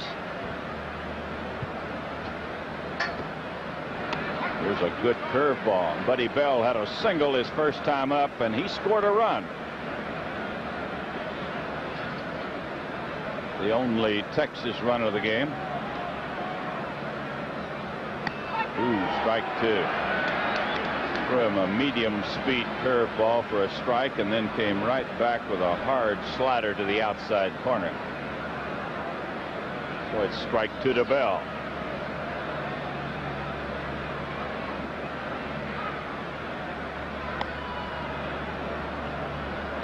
One ball, two strikes. Buddy Bell was traded from Cleveland uh, for Toby Harrah in December of uh, 78.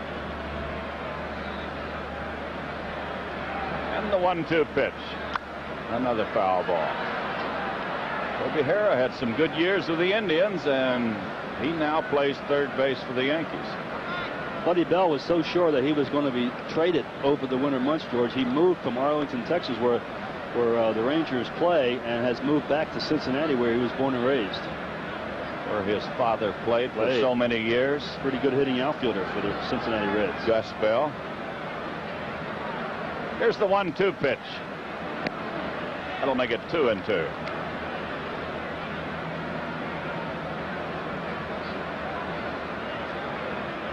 This fellow's not only a good hitter for average, he's got a little punch. You make a mistake inside and he'll jerk it out of here. Foul tipped it. Oh, he had a tough pitch to hit and he got a piece of it.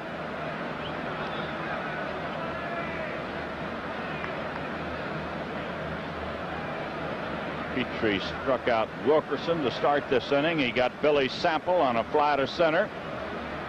And now the count is even at two and two to Buddy Bell.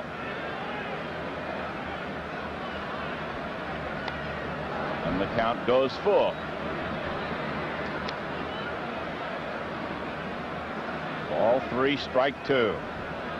George Wright would bat next if Buddy Bell gets on.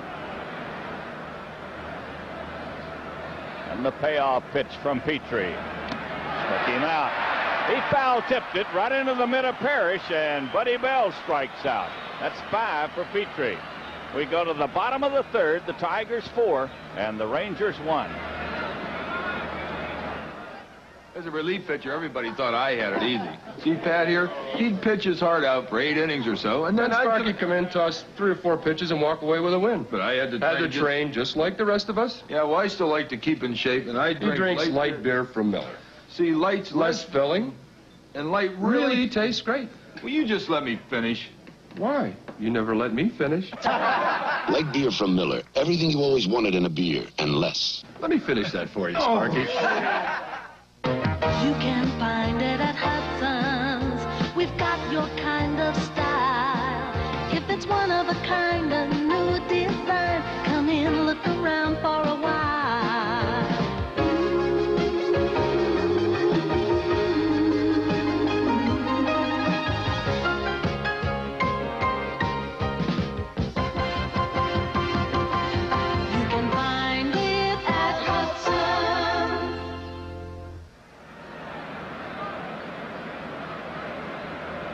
A four to one ball game. The Tigers in front as they come to bat here in the third inning, Al, and uh, we're taking this shot from our center field camera.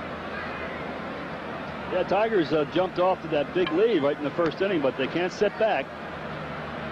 Um, Schmidt is throwing a lot of off-speed pitches, turning the ball over. He's not throwing as hard as Dave Stewart was, but Stewart had a lot of problems with his uh, control walking five men in the first inning.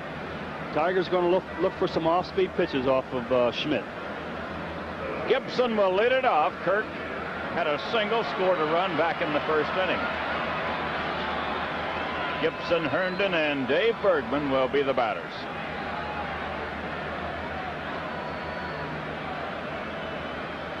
Tigers got four in the first after the Rangers got one. Here's a strike. Smith continues to nibble away at the outside corner.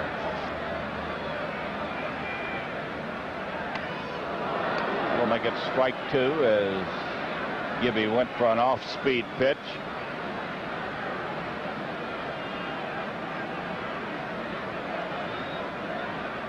Game has really settled down and belongs to the pitchers all of a sudden. Pitch was very close. Missed on the outside.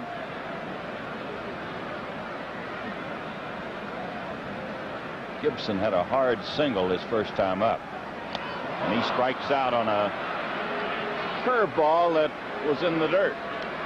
So Gibson is out. Smith has retired five batters in a row.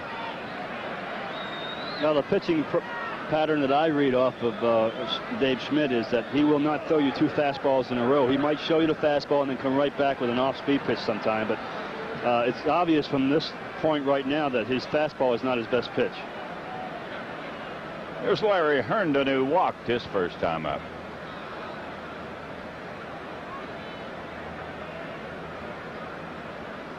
Herndon having a little trouble getting on track here in this 84 season, but he'll hit. He's had two great years for the Tigers since coming over from the San Francisco Giants. And a strike. Dave Smith walked right out of the bullpen, throwing nothing but strikes. Strike two. Marty Springstead uh, has widened the plate a little bit. So. Yeah, he said 42 minutes for one inning, no more. Pitch outside makes it one and two. Minnesota and the Yankees are underway. No score at the end of one.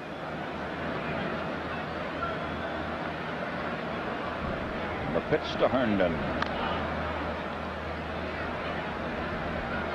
Still a ball and two strikes to the Tiger left fielder. He walked and was stranded at third base in the first inning.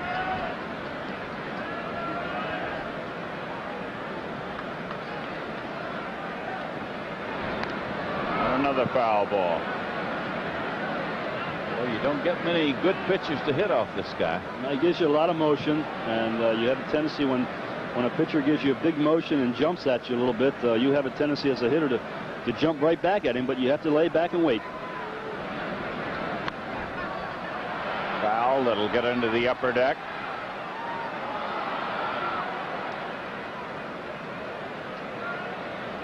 Opening day in Detroit. Always an event in this city. Today is no exception. The weatherman has been most cooperative. A bright, sunshiny afternoon. Here's one hit into left center field. Well hit. This ball will go all the way to the fence. Herndon will stop at second with a double. He drilled it deep into left center. And some very fine play by Sample saved that from being a triple. Yeah, excellent defensive play. You see there, he throws a fastball. Larry looking for a breaking pitch, still able to hit his fastball. That's why he doesn't like to throw his fastball too much. You can see the outfield with good speed uh, all throughout the outfield with the Ranger Ball Club. Uh, made a good job of cutting it off and holding uh, Larry Herndon to just a two-base hit. Dave Bergman will bat with a runner at second and one out.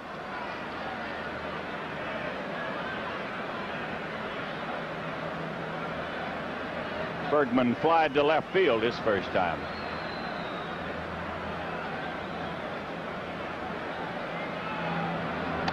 There's a strike on the outside corner. Now Berge should do rather well or has some pretty good cuts against uh, Schmidt because he's not a real good fastball hitter. They try to throw him hard, but Schmidt does not throw many fastballs.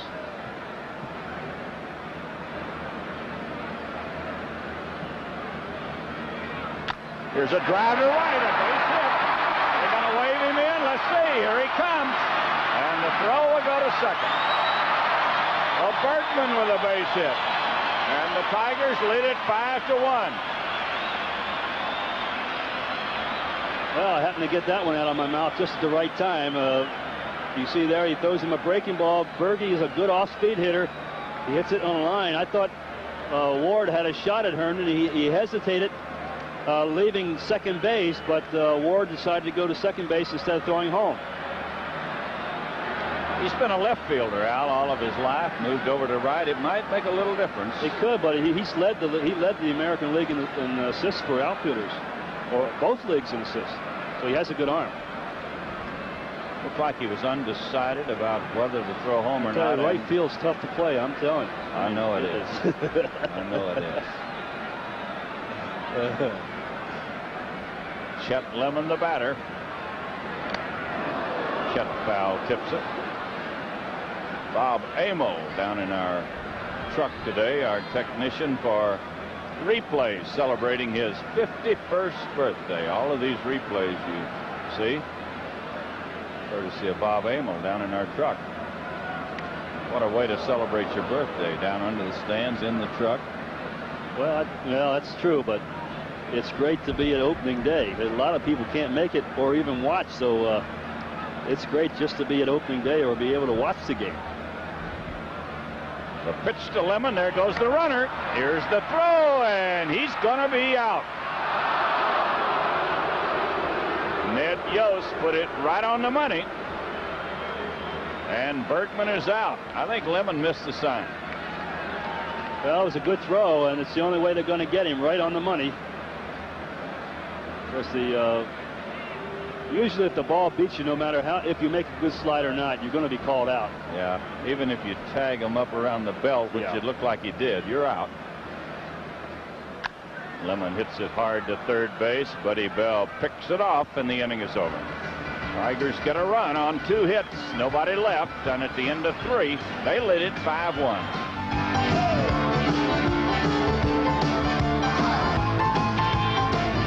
You shop for carpet, you want well-trained, knowledgeable salespeople. You expect it. You're entitled to it. You get it at New York Carpet World. With your carpet installation, you want professional perfection. You expect it. You're entitled to it, and you get it at New York Carpet World. With all that, you might not expect the lowest price, but that's our aim. It's our creed, our policy, our single goal. The lowest price on every carpet every single day. This Travera carpet, $6.99. Unbeatable. See us for what you want in carpet. You can't miss at New York Carpet World. Metro Detroit Chevy dealers are making it tough on the competition when it's Ford Bronco 2 versus our Chevy S10 Blazer. And here's why. The S10 Blazer has InstaTrack. That means you can shift in and out of four-wheel drive on the roll. You can't do that with Ford. And the S10 Blazer with InstaTrack still costs $700 less than Ford Bronco 2. The Chevy S10 Blazer and the price advantage belong to your Metro Detroit Chevy dealers. Have you saved $700 lately?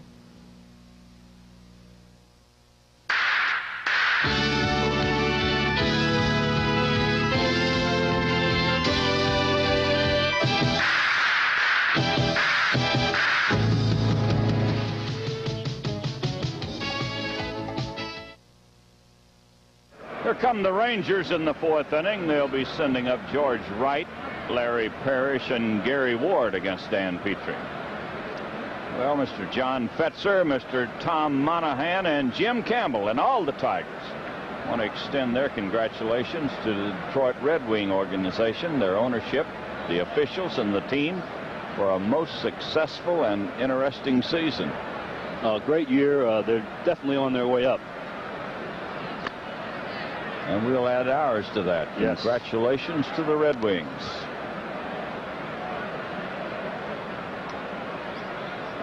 George Wright bounced to first his first time up. And he hits it hard right at Whitaker. He hit it like a bullet. Right straight to Sweet Lou. You can see Lou, uh, even though he's wearing a, a glove, that ball had the sting, hit him right in the pocket. That'll bring up Larry Parrish, who had a single and a run batted in back in the first inning. They got this big guy from Montreal. He was the regular third baseman at Montreal. Didn't Al Oliver go over to uh, Montreal, I believe? I don't know. We'll find out. We'll check that out. I thought Oliver and this guy played together. Here's a ground ball up the middle, but Trammell's there this time. Throws him out. I thought they played together in Texas. Maybe in the Hostetler deal. He came, uh, Hostetler came with him. For Al Oliver, I was right. Dave Hostetler came over. I should know you're always right. I should know that. Hostetler and Parrish for Al Oliver. Now Oliver, after two good years up there, has gone to the Giants. Can't figure that out. I can't either. He led the league in awful fine batting. hitting. Awful fine hitter. He's had about eight straight years of batting 300. I guess they were going to make room for Pete Rose. But Rose is playing left field. Who knows? Who knows? That's right. This is Gary Ward. We could call John McHale and find out.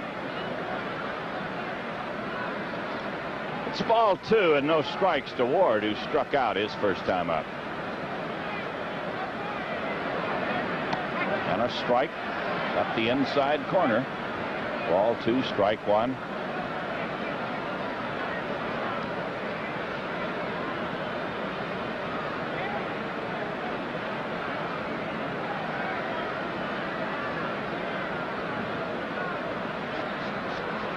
The 2-1 pitch. That'll make it 3 and 1 to Ward. Petry has not allowed a base runner since Larry Parrish singled back in the first inning.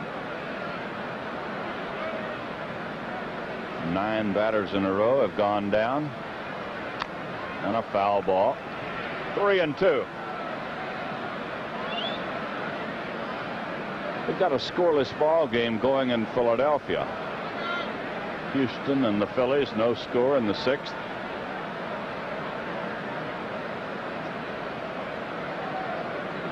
Ball three, strike two. Ward batting with two outs, nobody on. And he walked. That's the first walk given up by Petry. A two-out walk to Ward. And the batter will be Pete O'Brien. O'Brien struck out his first time up.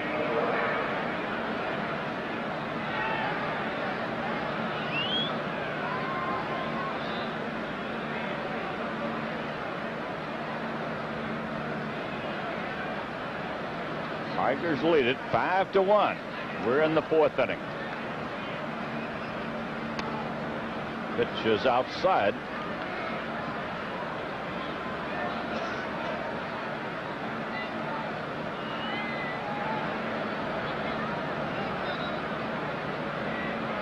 They play behind the runner at first base. They don't figure Ward to be running with the Rangers down by four.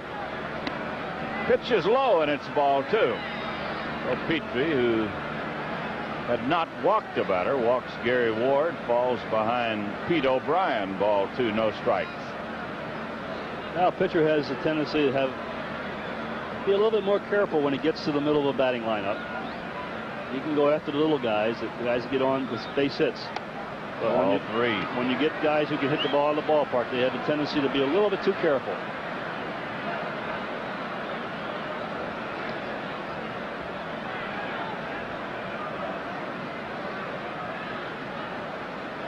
He got the first two batters this inning. George Wright hit a screaming line drive at Whitaker for the first out.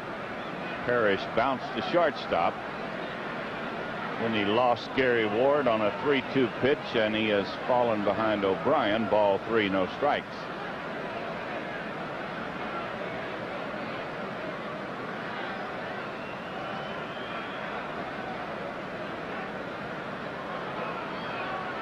Three and zero, and he throws it right down the middle.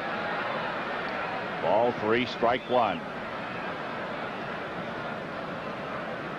He looks down to third, but you know they'll turn him loose with this short right field fence. Give him a chance to swing away at it. It's outside, and O'Brien gets a walk. Two walks in a row, and Petry is in a bit of a jam as Roger Craig makes his way out of the dugout.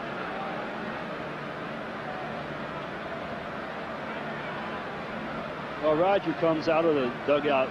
Usually it's just to settle his pitchers down. He's not going to give him any kind of, uh, uh, you know, information and, and, and things of that nature. He just wants to say, hey, uh, just take your time now. Okay, Al, we'll pause 10 seconds for station identification. You're watching Tigers 84.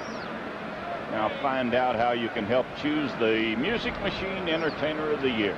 That's on the Saturday Night Music Machine semifinals, Saturday at 7.30 on Channel 4. Well, he's going to have to get Ned Yost with two on and two outs. He flied to left field his first time up. And he takes a strike. Yost had six home runs a year ago. He did not play very much at Milwaukee, but he does have some power.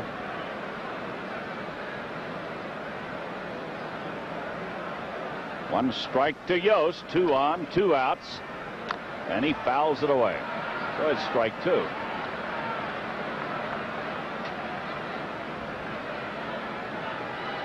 Rangers got a run in the first inning off Petry. Buddy Bell single with one out. Went to second on a bounce out by Wright. And then he scored on a single by Parrish.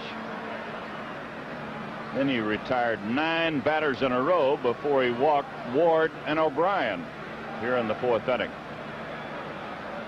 And it's strike two to Ned Yost.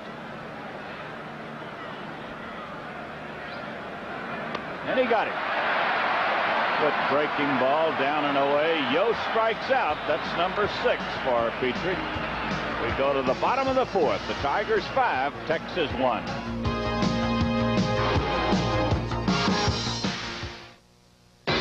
Chevrolet announces a major price reduction, all the way down to $5,990 on our tough Chevy S10 short wheelbase pickups.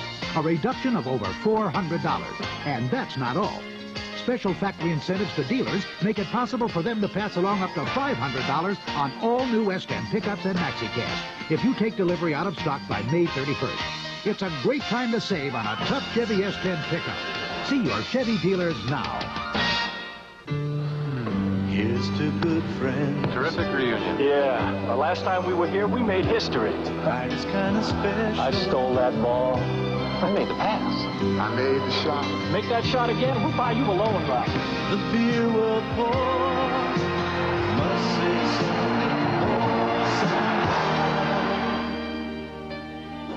Hey, what can I tell you? We still got it. Never lost it. Let it be Löwenbräu.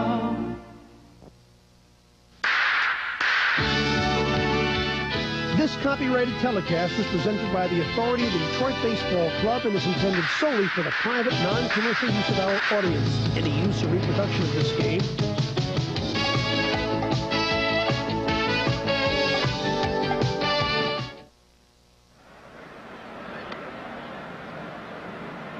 Here come the Tigers in the fourth inning. Howard Johnson will lead it off, followed by Lou Whitaker and then Alan Trammell. You know, Al, Pete Gammons, Peter Gammons had a very good article in the Sporting News. He said, in case you don't realize how good Alan Trammell really is, if you want to compare the stats of Trammell and Robin Yount, who most people call the best shortstop in baseball, after six years, Trammell is leading Yount in every department. Batting average, runs scored, home runs, runs batted in, slugging percentage, least errors.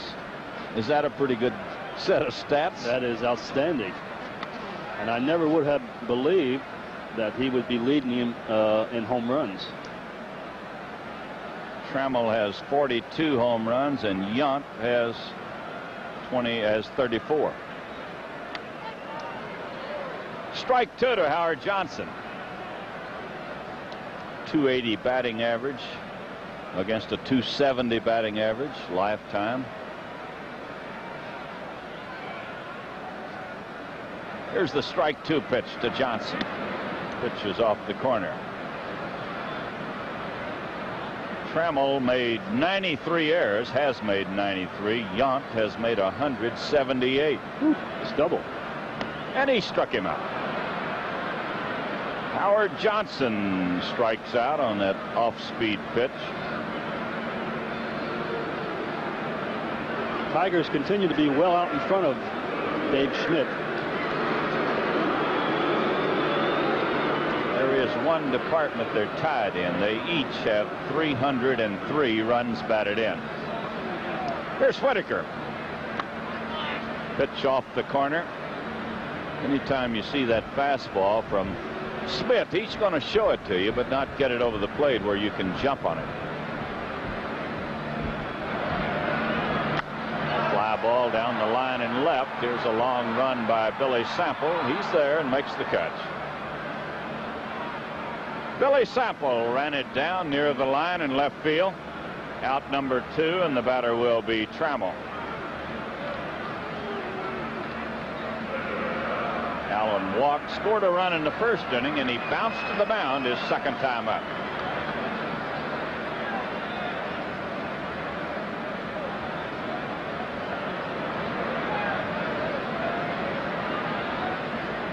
Alan Trammell just had his contract extended through the 1989 season.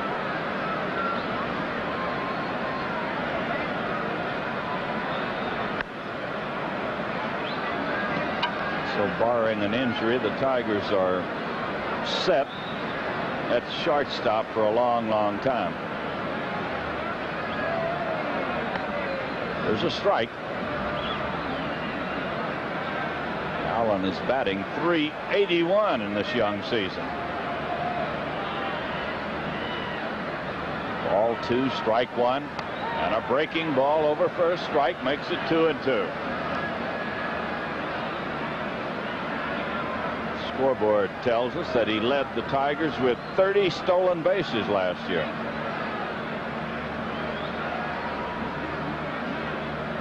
Ball two and strike two. Here's one hit into left, way back. Sample is near the fence, and he's going to catch it. Trammell hit it deep in the left field, and Billy Sample, with his back to the fence, made the catch. At the end of four, the Tigers five, the Rangers one.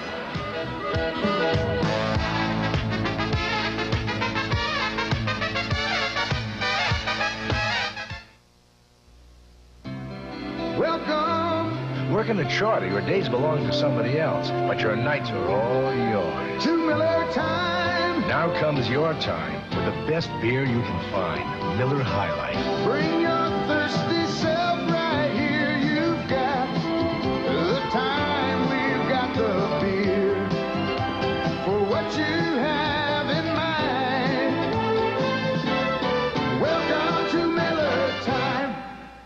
The people of Michigan, they haven't forgotten how to smile. And we're proud to be part of that smile. We're Delta Dental Plan, Michigan's largest group dental plan. But we didn't become the leader on size alone. Delta has always led the way in relating to people's needs. That's why our group plans are as individual as the people we serve. That's why these people are smiling all over Michigan. Delta, we're number one for a number of good reasons. Tigers 84 continues, brought to you in part by your Metro Detroit Chevy dealers. When buying a new car or truck, remember, the advantage belongs to your Metro Detroit Chevy dealers and by J.C. Penney, your official store for Levi's Olympic wear.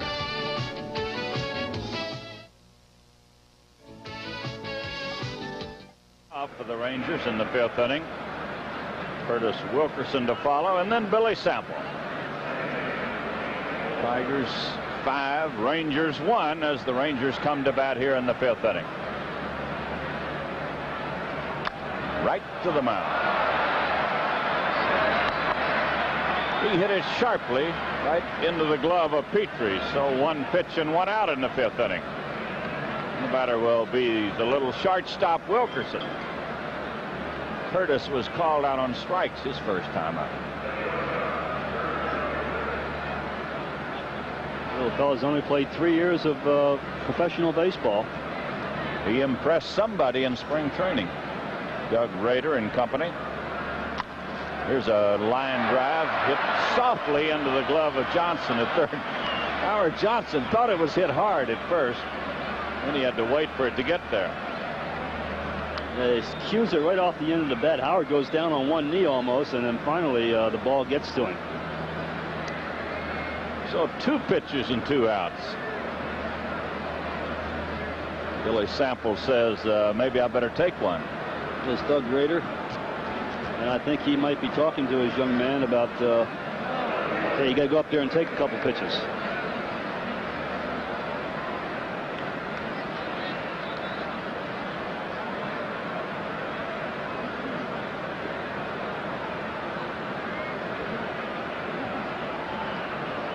Remember, Al, very early in my career here in Detroit when I was hitting against a pitcher.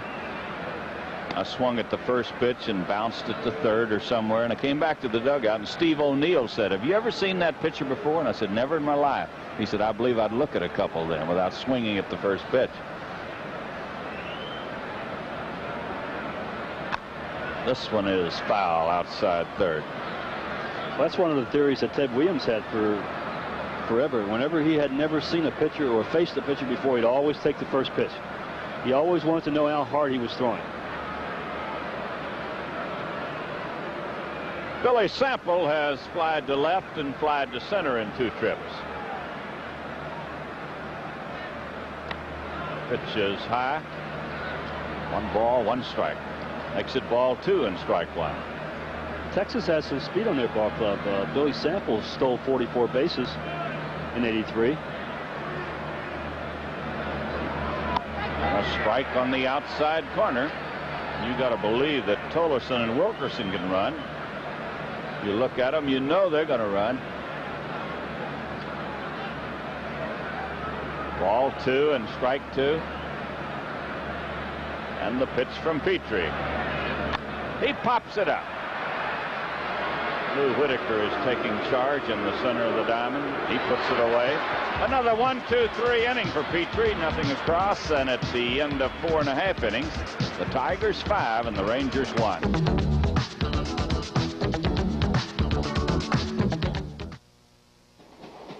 People think I always take the train because I'm afraid of flying. Me, afraid? Nah. I take the train because it's the best way to enjoy light beer from Miller. Rolling through the Rockies and all across the Midwest, nice, that's filling. And it tastes great coast to coast. That's why I take the train, not because I'm scared of anything. Hey, what happened to the Light light? beer from Miller. Everything you always wanted in a beer, and less. I went... Maybe I am a little afraid of the dark. All right. We'll forward your records, Jim, and have a safe move, folks. The spirit of working together. We're first of America, working to win. We're growing stronger than we've ever been. Though we're over 200 banking offices strong across Michigan, Hi, welcome to First of America. We have all we your still care about the little things. We're first of America, working together to be first. Darrell Evans is going to lead it off, and Chuck says we're going to look at his home run, Al, right here. He had a three-run homer in the first inning. Yeah, he was ahead of the count. He got a fastball, obviously looking for it. And there was no question once uh, he left the bat, he stood at home plate, clapped a few times. What a way to start opening day at Tiger Stadium. That three-run blast put the Tigers in front. They were behind one nothing at the time. They picked up another run in the first inning, another run in the third, and they led it five to one as Evans leads off here in the fifth inning. Evans, Parrish, and Gibson will be the batters. And a strike on the outside corner. This fellow Schmidt has done a good job. He's given up two hits, back-to-back hits, a double by Herndon and a single by Bergman. And that's been it. He has struck out three since coming on. Got Evans to bounce to second base. There's the off-speed pitch. He'll get you out in front. One ball, two strikes. I think that's Henke, H-E-N-K-E. The one-two pitch to Evans. He taps it slowly towards second. So Darrell is out to start the Tiger fifth. And the batter will be Lance Parrish.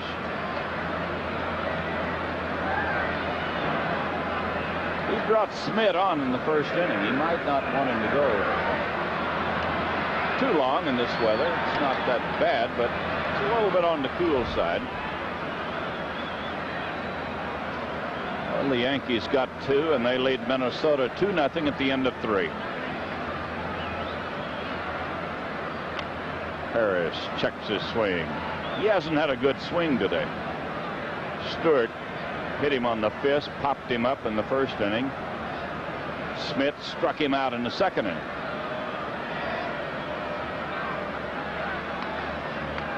And a pitch low.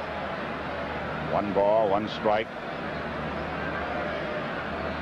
Tigers have five runs on four hits. Rangers one run on two hits. Bouncer to third. Buddy Bell with a long throw. That's out number two in the fifth inning.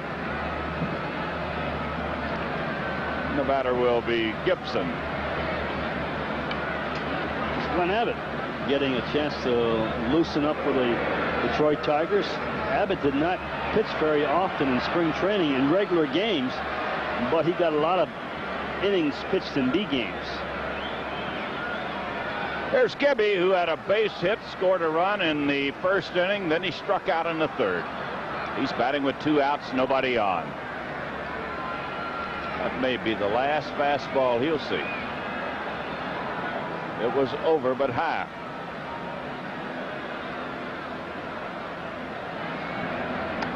A strike. Looks like a little screwball, Al. Well, something off speed, and I don't think today yet he has thrown two fastballs in a row. One ball, one strike, and a bouncer towards first. Easy play for O'Brien, an easy inning for Dave Schmidt. And at the end of five, the Tigers five, Texas one.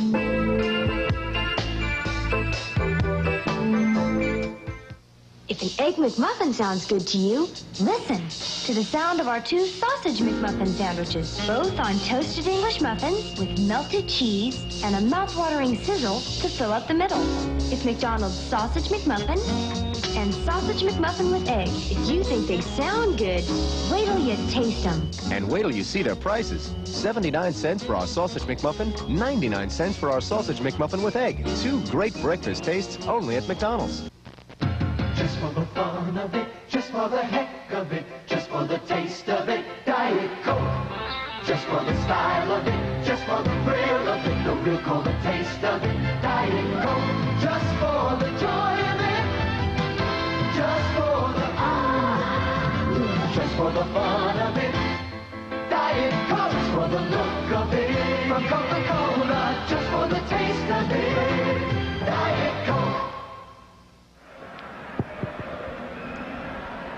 Five to one, the Tigers lead as the Rangers come to bat in the sixth inning.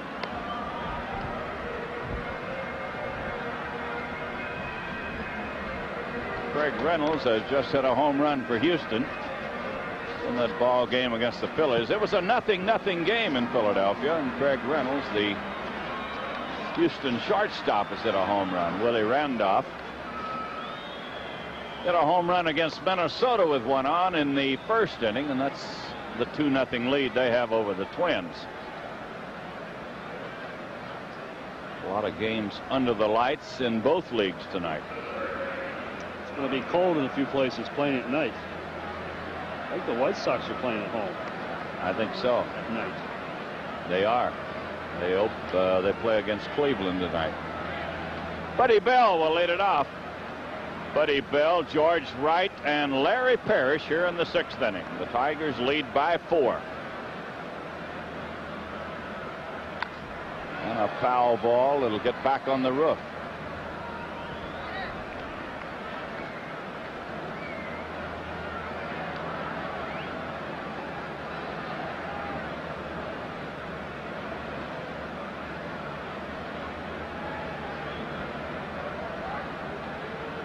Buddy Bell had a single and he scored a run in the first inning. Then he struck out his second time up. He hits it on the ground to short. Big hop to Trammell, and he's out. Buddy Bell is out short to first to start the sixth inning. And the batter will be George Wright. George Wright is 0 for 2. He bounced to the first baseman. That set up the Texas run. It moved Buddy Bell down to second where he scored on a single by Parrish. Then his last time up, he hit the ball hard right straight to Whitaker. And we get a camera shot from our center field uh, camera, we'll see how the shadows now are coming into play as far as making it more difficult for the hitters to hit, hit and see the ball. Pitch is low, and it's one ball. There's see the shadows right there. That's, That's, a better shot there. You can see how the contrast as far as coming out of the sunshine into the shadows. Yankee Stadium might be the worst for this. Boy, it gets very difficult, especially late in the year in New York. Ball two, no strikes to George Wright. Rangers batting in the sixth, one out, nobody on. Tigers five, Texas one. Bouncer to first, Bergman. Ooh, he with the golden glove picks it off.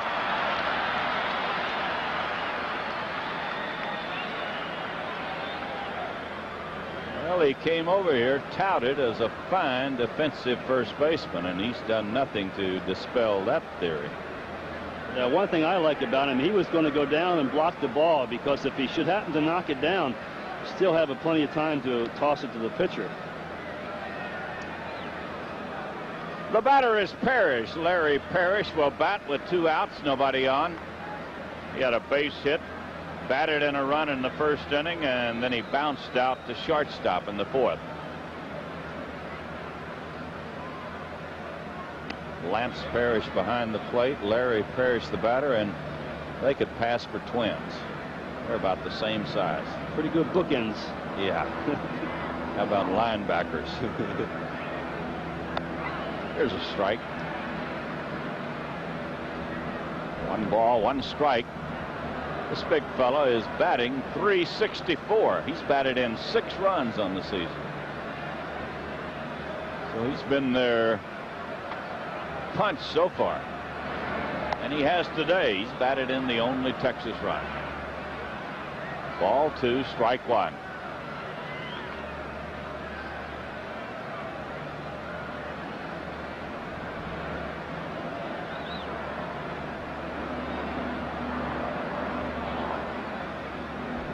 Larry Parrish, the designated hitter. He played in right field last year, but as Al told you, he lost his job this spring to Gary Ward.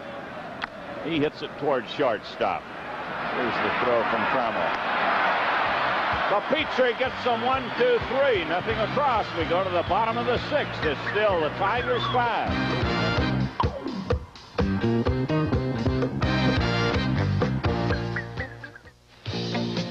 So this is the new log cabin. Thanks for giving me a hand. Hey, what are friends for? Here's to good friends. Tonight's kind of special. Try it this way. The beer we'll pour says something more somehow. Looks like we're about done, huh? Not yet, you're not. Tonight, tonight. Not a bad day's work. Next weekend, we put in the pool.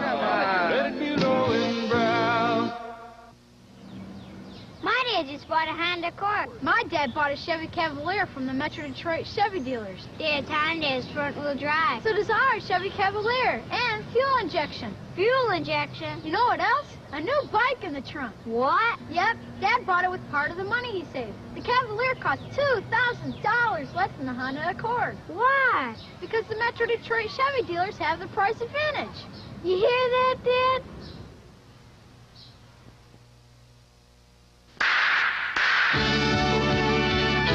Tigers 84 continues, brought to you in part by Ballpark Franks, the hot dogs that plump when you cook them, and Grillmaster, the world's most distinguished chicken frank, and by Highland Appliance, everything you never expected from an appliance store.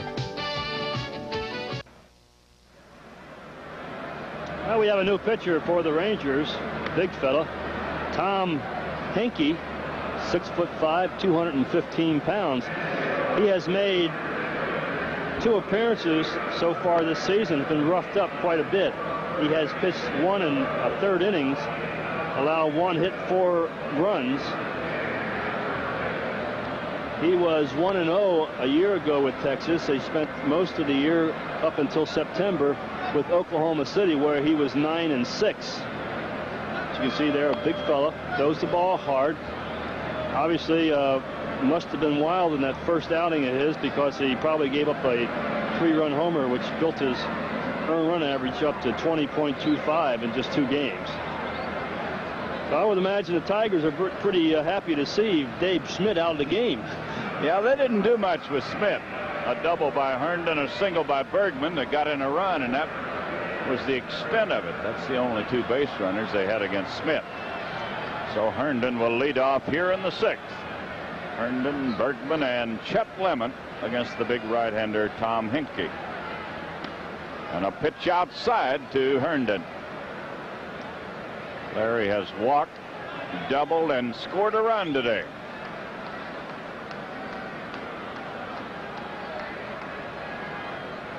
And a fly ball hit to right. Gary Ward is there. He'll make the catch. So Herndon is out. The batter will be Dave Bergman. The game has really settled down after the first inning. Petry was a little shaky. He gave up a run on two hits. Dave Stewart was more than shaky. He gave up four runs on two hits, won a three-run homer, and he walked five before he left the ball game. But since then, Have had only two base runners. The Twins have had two.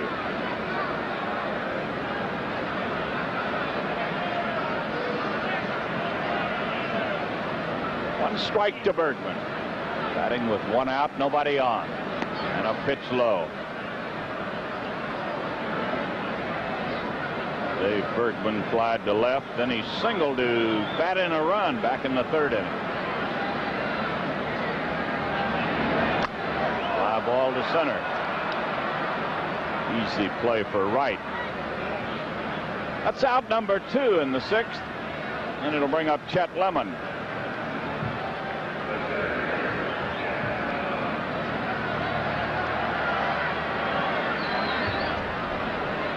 worst spot in the world to bat is with two outs, nobody on. Ooh, he hit him. Just got a piece of it. I was going to say, Al, batting with two outs, nobody on, I used to try to pull the ball or at least into the corner, something for an extra base hit, because otherwise it's going to take three hits to get a run in normally but Lemon is hit by a pitch ball. He's at first with two outs, and the batter will be Howard Johnson.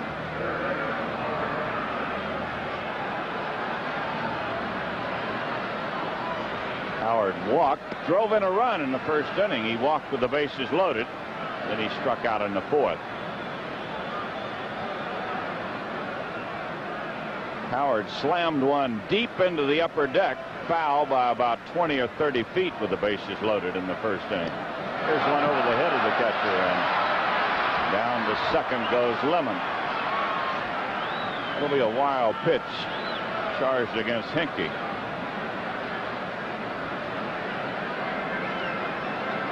Now, this is a tough pitch for a uh, for a catcher. You can see he gave a low target and just threw the ball completely over his head ball obviously must have slipped out of his hand. So Lemons at second with two outs. And it's one ball to Johnson.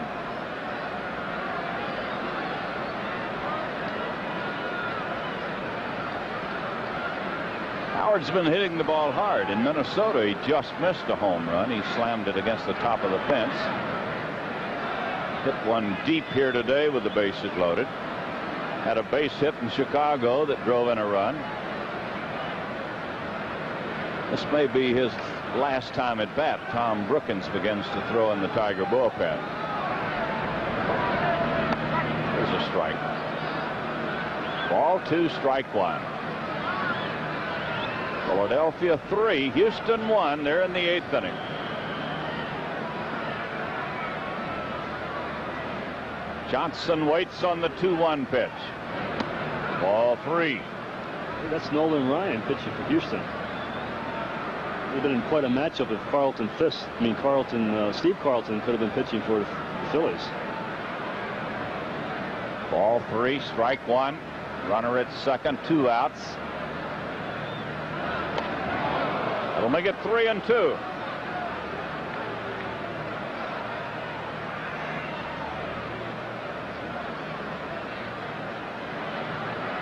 That's John Denny, number 40, pitching for the Phillies against Ryan.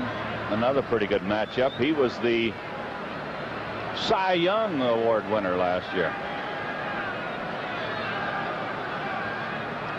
Ball three, strike two. And the payoff. He walked. But Johnson gets a walk. Have him at first and second with two outs. And the batter will be Lou Whitaker. And Lou is looking for his first hit today. He has walked, scored a run, bounced out, and flied to left.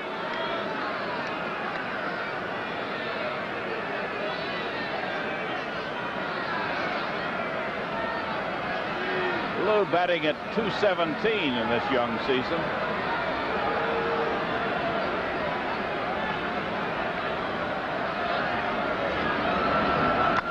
He hits it foul down the left field line. Whitaker had a big hit on Sunday against the White Sox. He drove in the go-ahead run, and the Tigers were never headed after that. Lou swinging the bat like he's trying to hit the ball to left field uh, in the hole at, at third base.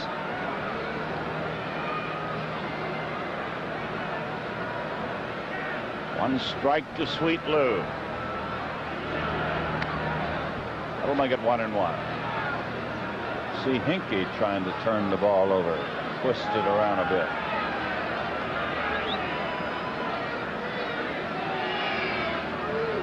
One ball, one strike.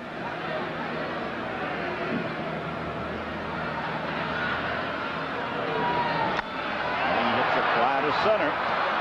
Backing up is George Wright, and he makes the catch. So the Tigers threaten but fail to score, and at the end of six, they still lead it 5-1.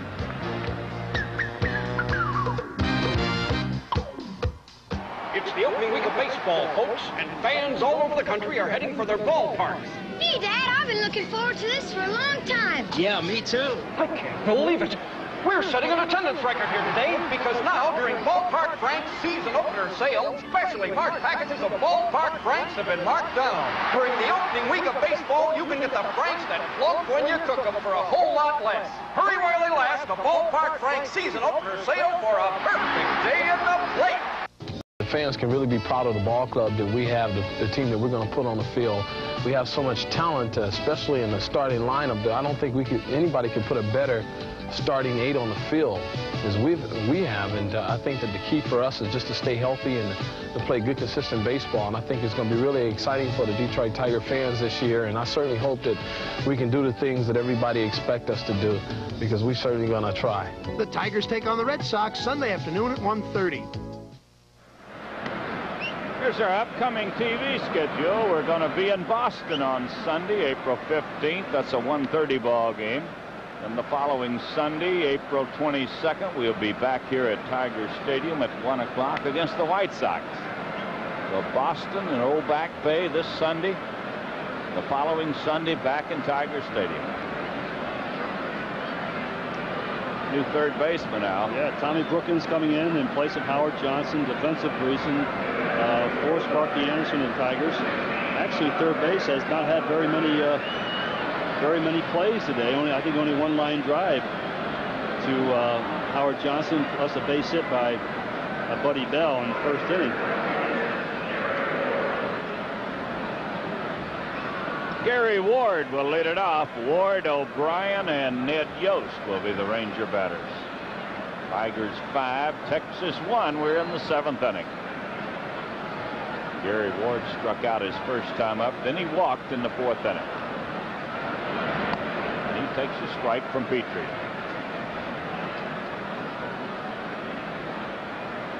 Gary Ward played with the Minnesota Twins last year. Ooh, good breaking ball. Strike two. Tigers are off tomorrow. They will play again on Thursday against the Rangers. And Jack Morris will be the Tiger pitcher against Frank Tanana. Pitch was low, and it's one ball, two strikes.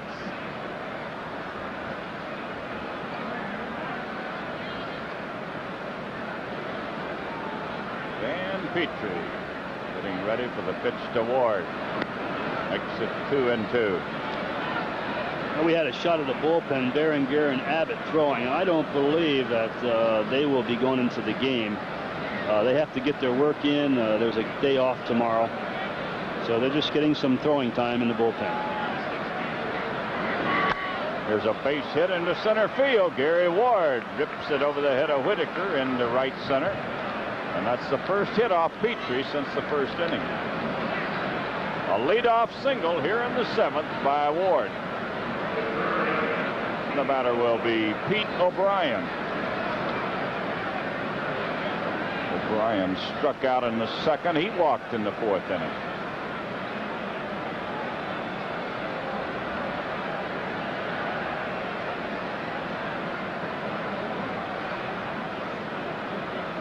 Runner at first with nobody out in the seventh. And a fly ball into shallow left. It's going to be a long run for Herndon. He's near the line, and he'll put it away. A towering fly ball off the bat of Pete O'Brien is out number one. We'll bring up Ned Yost.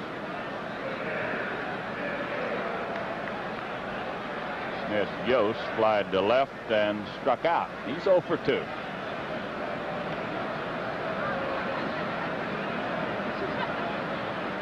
Baltimore plays tonight, Al, at home against Kansas City.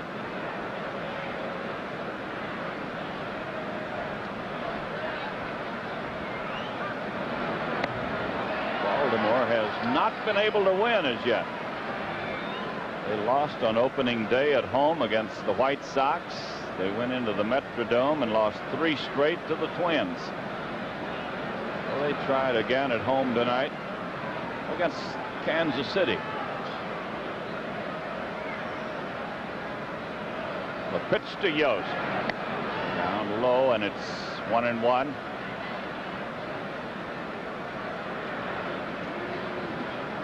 A big crowd on hand, as you might imagine, a sellout here at Tiger Stadium on opening day in Detroit. And they got a thrill early in the ball game as Evans hit a three-run homer in the first inning. There's a strike. Darrell Evans, who couldn't get it going in spring training, and once the season opened, he has turned it on. Did not hit a home run in all spring training. Opening day hit a three-run shot in Minnesota. And the one here today excited and ignited this huge crowd. A one-two pitch to Yost. Let me get two and two. You know, this is the second time up for Abbott in the bullpen. He might be coming in. He, he threw earlier in the game, and uh, now he's up again. Maybe the Sparky might say, let's get an inning or so in from him. Ball two and strike two to Ned Yost. And the pitch from Petry. Ooh, he almost got it by him. Somebody's going to have to hurry. What a play by Whitaker. He heard and he got him. That pitch was all the way by Yost when he swung at it. We'll look at it in a minute. And you know, watch how he has to avoid the runner too. You know, the, the base runner has just as much right to that base path as Lou Whitaker. He had to wait for the base runner to get past him. That was a, a very tough play. He made it. That's two outs. The runner goes down to second, and the batter will be Tolleson. Wayne Tolleson has struck out, bounced to the mound, and a pitch high. Tigers five, Rangers one in the seventh inning. Petry gave up a leadoff single to Ward. He's at second with two outs.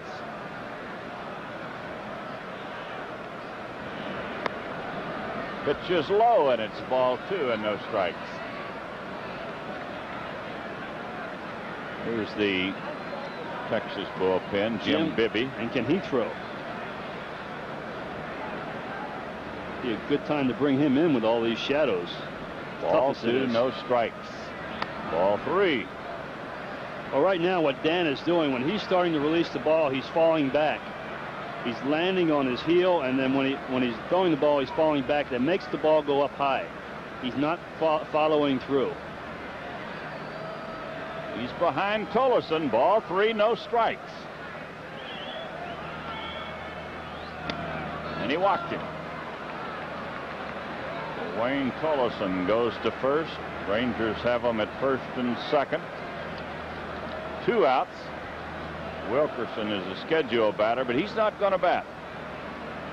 We'll look at Petry now, Al, what you're talking about here.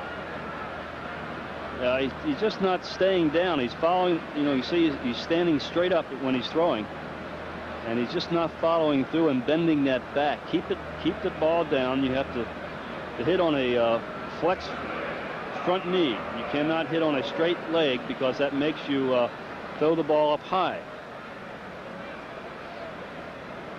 Roger Craig goes to the mound as Bobby Jones comes into the on-deck circle to bat for Curtis Wilkerson. Bobby Jones, a big left-handed batter, will bat for the shortstop with two on, two outs in the seventh inning. And the Tigers lead by four.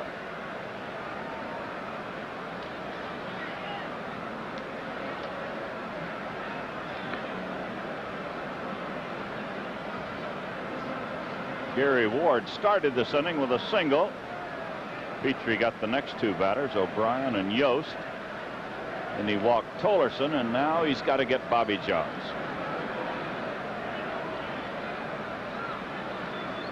And the pitch. Gets it on the ground to second. That'll get him out of the inning as Whitaker comes up with it. Petry gets out of another jam as Bobby Jones hit the first pitch right straight to the second baseman. We go to the bottom of the seventh. The Tigers five, the Rangers one. Welcome. You've turned the city over to the next shift. The rest of the night is yours. To Miller time. Now comes your time with the best beer you can find, Miller High Life. Bring your thirsty self right here. You've got the time. We've got the beer for what you have in mind. Welcome to Miller time. Your Metro Detroit Chevy dealer is taking charge. Chevy fever, Chevy power, Chevy style. Look beyond the ordinary. Gaze on reflections of driving pleasure. Capture the magic only Chevrolet creates with Camaro, Cavalier, and Celebrity.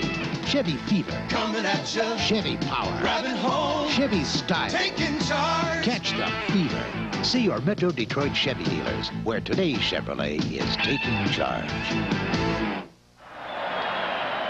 Well, we have a new shortstop, George. Uh, Jim Anderson has gone into uh, play shortstop for the Rangers.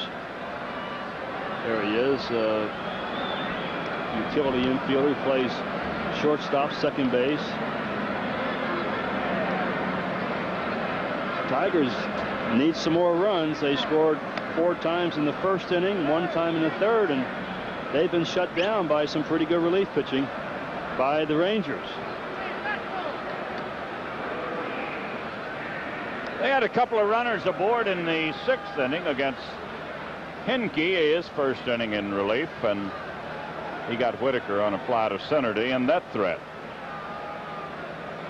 So it'll be Trammell to lead it off here in the seventh. Alan is looking for his first hit today. He has walked, scored a run, bounced to the first baseman, and fly deep into left field. And a pitch outside. Trammell, Evans, and Parrish, the Tigers batters in the seventh.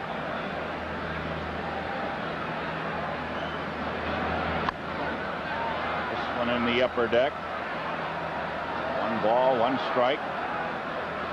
Don't forget now, tomorrow's an off day, but on Thursday, play will be resumed at Tiger Stadium, and Jack Morris will pitch against Frank Tanana. That should be a good matchup. Tiger fans will get their first chance to see Jack Morris at home this year and the first chance after his no-hitter.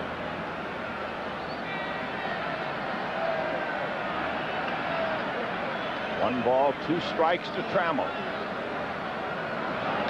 There's a line drive base hit. He may try for two. Let's see. No, he'll hold up. Well, that Ranger outfield is very impressive, Al. They, they get to the ball quickly. Yeah, great speed. Uh, Sample does not throw well. Alan Trammell, what an improved hitter over the beginning of last season. You can see how late he stays. He he keeps his shoulders closed. He doesn't jump at the ball, and he is a much, much improved hitter. He said in spring training he felt like he was a big league hitter now. And he is. There's Darrell Evans. He had a three-run homer in the first inning. He's bounced to second base twice since then.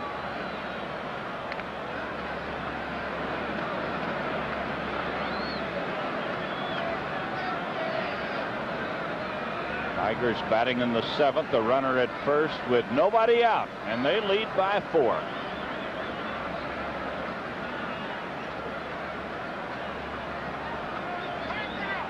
Tell you, somebody's done some talking to these pitchers. They've told them they'll run. Stewart took a lot of time pitching with runners at first base. Henke giving Trammell a long look.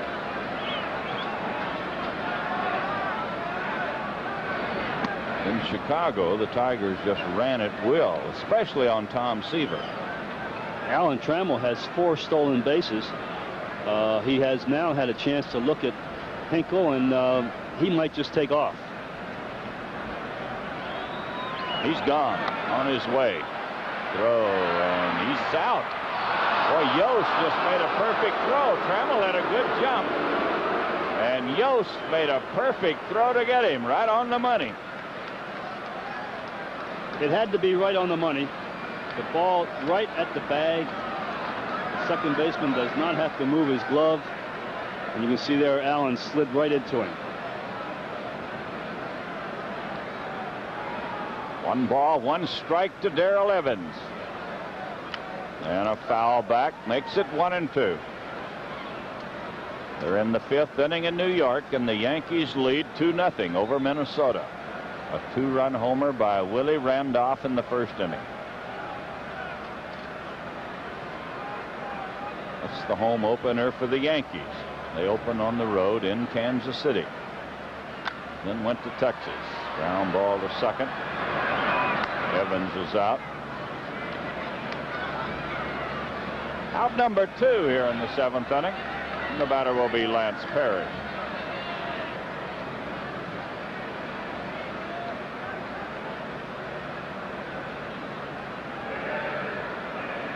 Lance is 0 for 3. Fouled out, struck out, bounced to third. He bats with two outs, nobody on.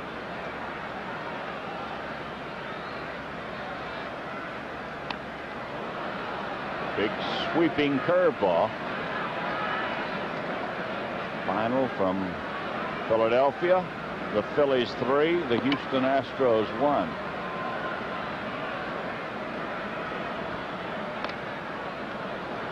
Makes it one and one to Parrish. We're in the seventh inning. The Tigers five, Texas one. Petry has gone all the way. Dave Stewart started. Smith relieved him in the first inning. Then Henke in the sixth.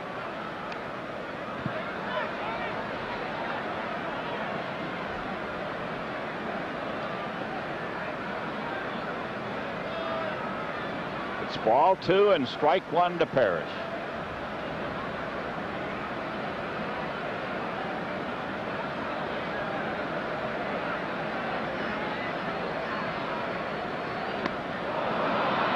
get and two to Lance.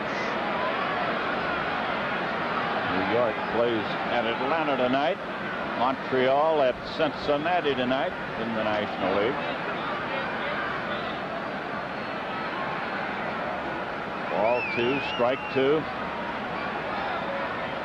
And he struck him out. Big sweeping curve, and Parrish strikes out. Well, at the end of seven, it's still the Tigers five, the Rangers one.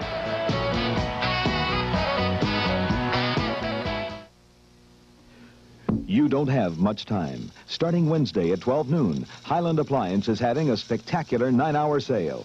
Every Highland store will be closed Wednesday until noon to mark 5 to 40% off the price of every item in every Highland store.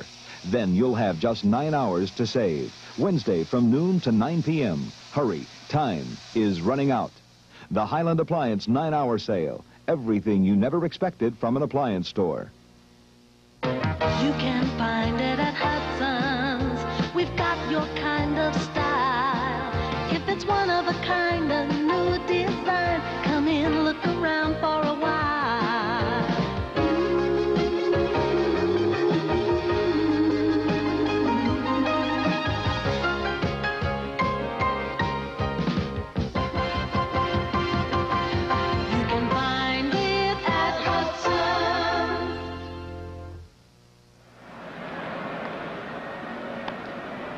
in the eighth inning in Detroit. The Tigers five and the Rangers one. It'll be the top of the batting order for Texas. Billy Sample, the leadoff, followed by Buddy Bell and then George Wright. Dan Petry has gone all the way for the Tigers. Dave Stewart, Dave Smith, and Tom Henke have been the pitchers for the Rangers. Doug Bair is now throwing in the Tiger bullpen along with Abbott.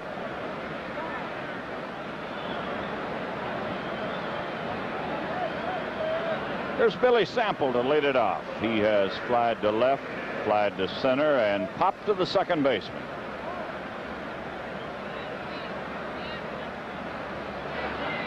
And the pitch coming up from Petry. One ball, no strikes.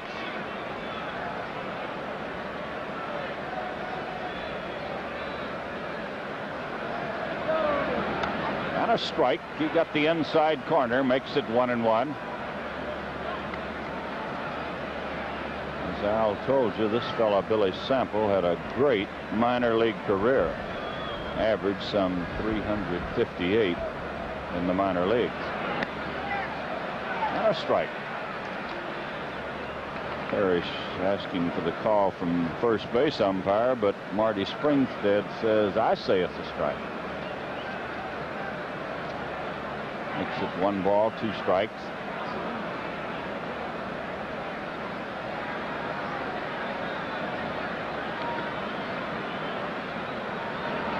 And he struck him out. He just threw it by him about a letter high, and Billy Sample strikes out. Well, a little help here. Uh, looked like he's looking for a ball out over the plate, and uh, Dan pulls him and throws a fastball inside. Do it right by him. That's his seventh strikeout, the first one he's had since the fourth inning. He had six at the end of four. Picks up his seventh, leading off here in the eighth as Buddy Bell takes a strike. Buddy Bell had a single in the first inning and scored a run. Since then, he has struck out, bounced to the shortstop. Strike two. Well, Buddy Bell, not too sure that was a strike. But Dan Petry looked like he was laboring the first few pitches he threw to Sample, but uh, now all of a sudden uh, seems to have the groove back again. It's strike two to Buddy Bell. And a ball makes it one and two. Five runs on five hits for the Tigers, one run on three hits for the Rangers.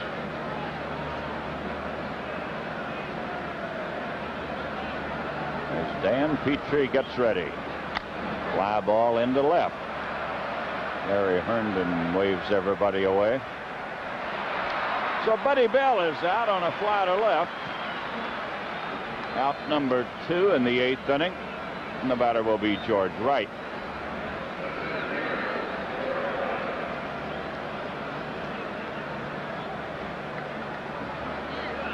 George has bounced at first, lined to the second baseman, and hit the ball sharply to the first baseman his last time up. He's batting with two outs, nobody on. And a pitch outside.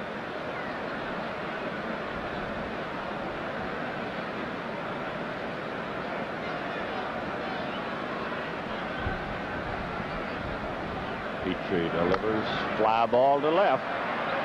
Here's Herndon coming in under. So Petry gets some one, two, three in the eighth inning. We go to the bottom of the eighth. The Tigers five and the Rangers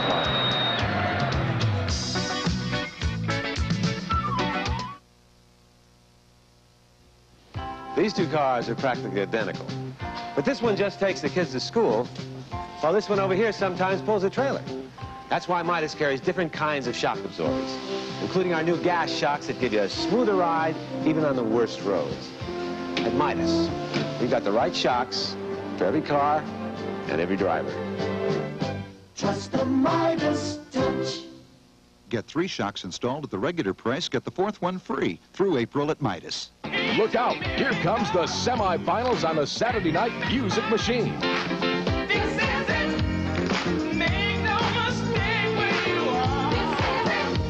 Curtis Gatson introduces this year's eight winning performers, with which three will advance to the finals. Who's the best? Will your favorite be one of the lucky three? Find out how your vote will decide. Hot music, hot dancing, and loaded with extras. The Saturday Night Music Machine semifinals at 7.30, right here on Channel 4. Well, we have two changes for Texas. The new catcher is Foley, Marv Foley. And Big Jim Bibby is uh, pitching for the Rangers now. Uh, Jim is not listed in the Ranger press guide, but know a lot about this fellow. Pitched for in the Nas National League for a long time with Pittsburgh. He was in the American League for several years. Hard throwing right-hander. You can see what tremendous size.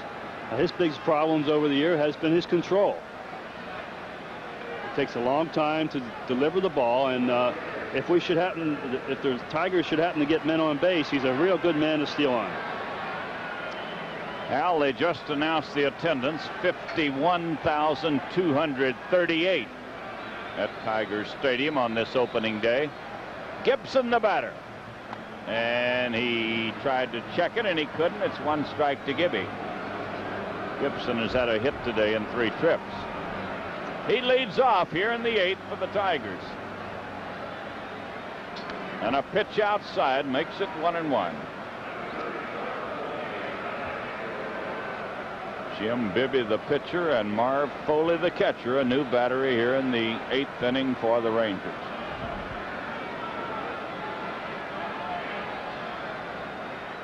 Ground ball slowly towards second. And Gibson is out. He hit him right on the fist. And Gibby rolled it down to second. One out in the eighth inning, and the batter is Herndon, who has walked, doubled, and flied to right. Don't forget, on Thursday will be the next ball game at Tiger Stadium. Jack Morris will go against Frank Tanana. Pitch is low.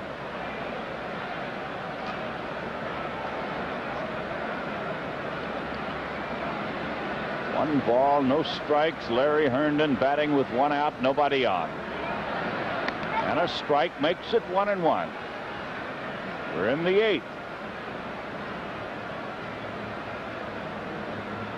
After a wild and woolly first inning, it has settled down to only one run being scored since then. Pitch is high. Ball two, strike one.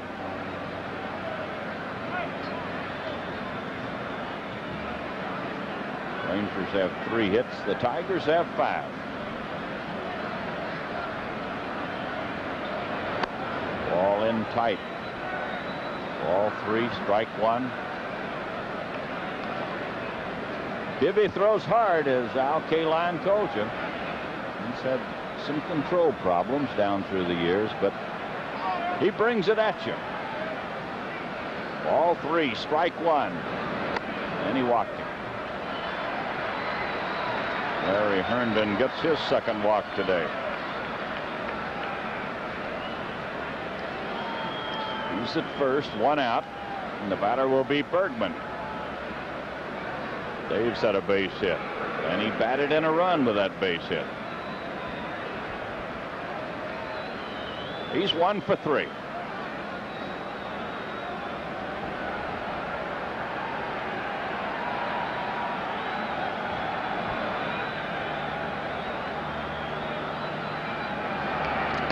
Pitch is low to Bergman.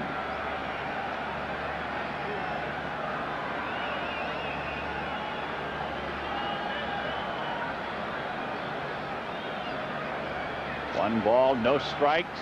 Runner at first, one out.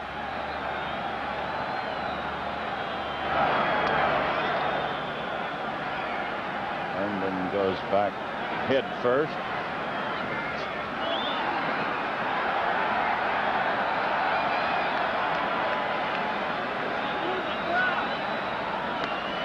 A strike. He got it over about knee high.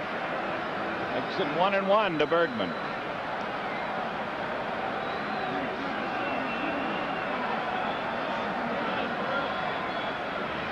Jim Bibby is the pitcher as he looks into his catcher, Marv Foley. Breaking ball is low. Ball two, strike one.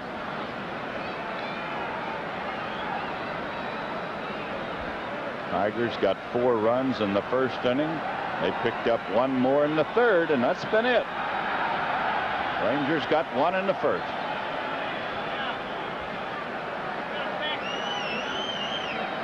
Ball two, strike one. This is foul. Evens the at two and two.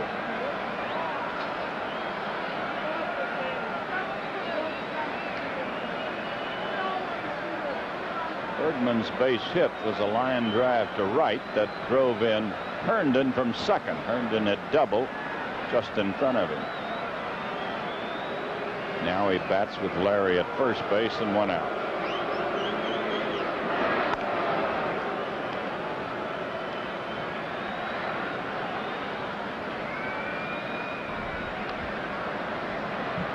It's a ball two and a strike two count.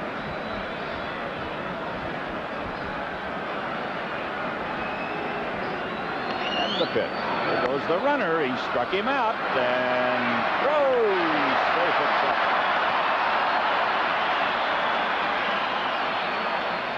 Throw, Foley put the throw right on the bag, but a head first slide by Herndon, and he has a stolen base. Yeah, Bergman goes for a bad pitch. Uh, looked like a very close play down at second base. You be the judge. Ball looks like it's there in plenty of time, and uh, they call him safe.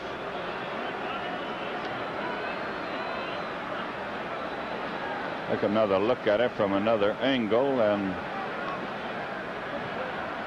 did look like he might have been out. Might have been out. He's at second with two outs, and the batter is Chet Lemon. Pitch is high to Lemon. One ball, no strikes. Chet's 0 for 1. He has walked today. He's been hit by a pitch ball, and he has bounced to third base. He bats with Herndon at second, two outs in the eighth inning.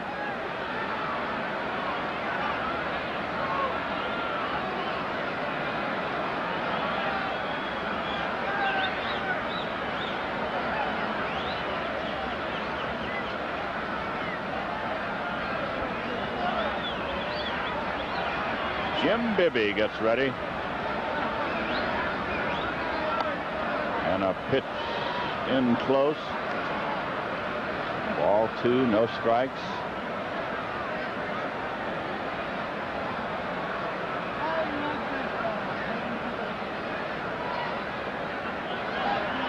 Two and out to Lemon. He's trying to get the runner in from second as Bibby looks in. Bouncing ball to deep short. Here's the long throw, and Lemon is out. So the Tigers put a runner at second, failed to score, and at the end of eight, Detroit five, Texas one.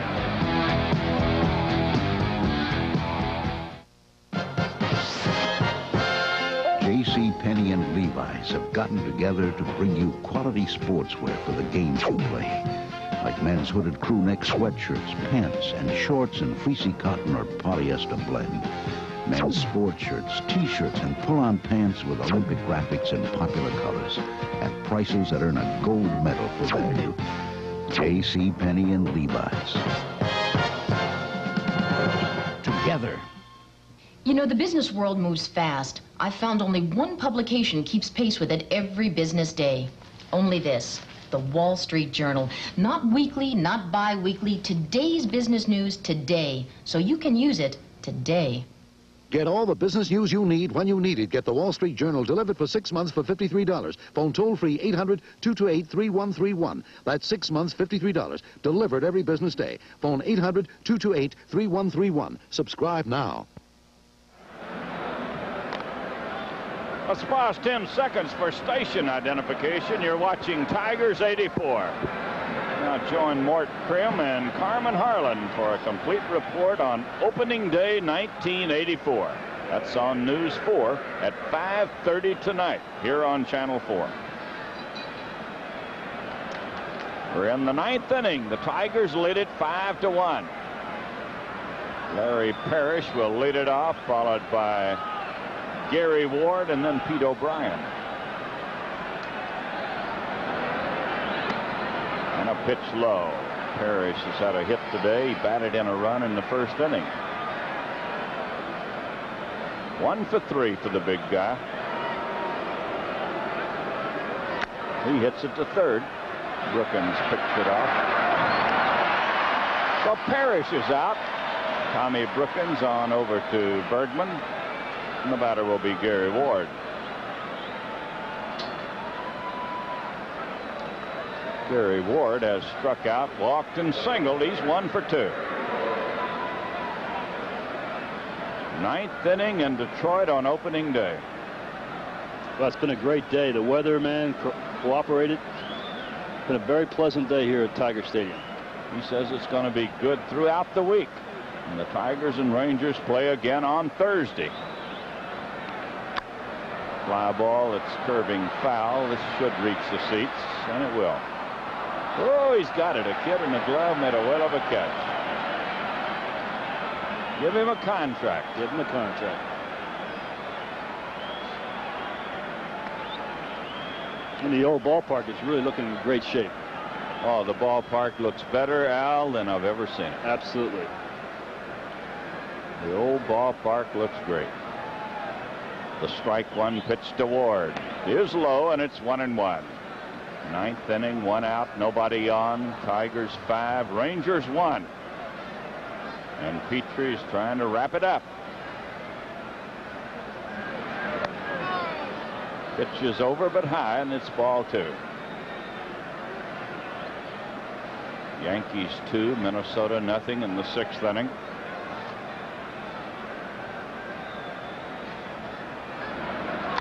There's a base hit over the head of Whitaker into right center field. Gary Ward gets his second hit.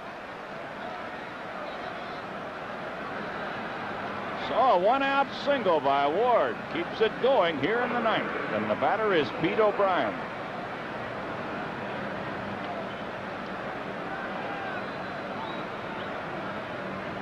This left-handed hitter has struck out, walked, and flied to left field. Well, the Tiger bullpen is going uh, full blast, and you would expect Lopez, the right-hander, and Hernandez, the left-hander.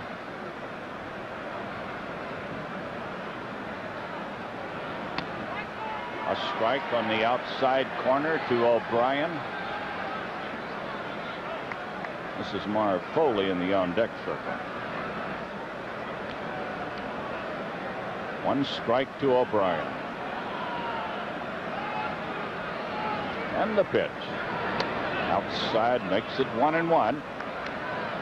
You've got to figure, Al, that Sparky won't go too long No. with Petry here in the ninth. I wouldn't be surprised if uh, this hitter should happen to get on that he goes with a, a new pitcher. One ball, one strike. Ball two. The pitch was low and inside, and it's ball two, strike one.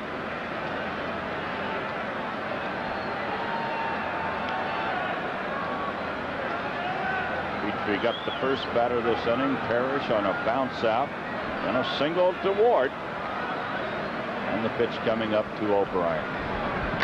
And a line drive, base hit into right. Oh, caught! Gibson caught it about knee high. Good play by Gibson. That ball carried extremely well. And Gibby came right on to get it. I think he kind of surprised the ball got out there that fast. Gibby with that tremendous speed looks like the ball is going to drop in, but he just outruns the ball. And not to labor on the fact again, but that's a terrible Sunfield in right field right now. Just a fine play by Gibson. And that probably kept Petry in the ball game. A line shot into right, and Gibby picked it off about knee high. And the batter is Marv Foley. He's batting for the first time. And he hits it foul right at the plate. I don't know about that now. Parrish says, wait a minute. Okay. He's giving an explanation to the Tiger bench that the ball hit Foley. If it did not and had a roll fair, it would have been a fair ball, but he grabbed it quickly.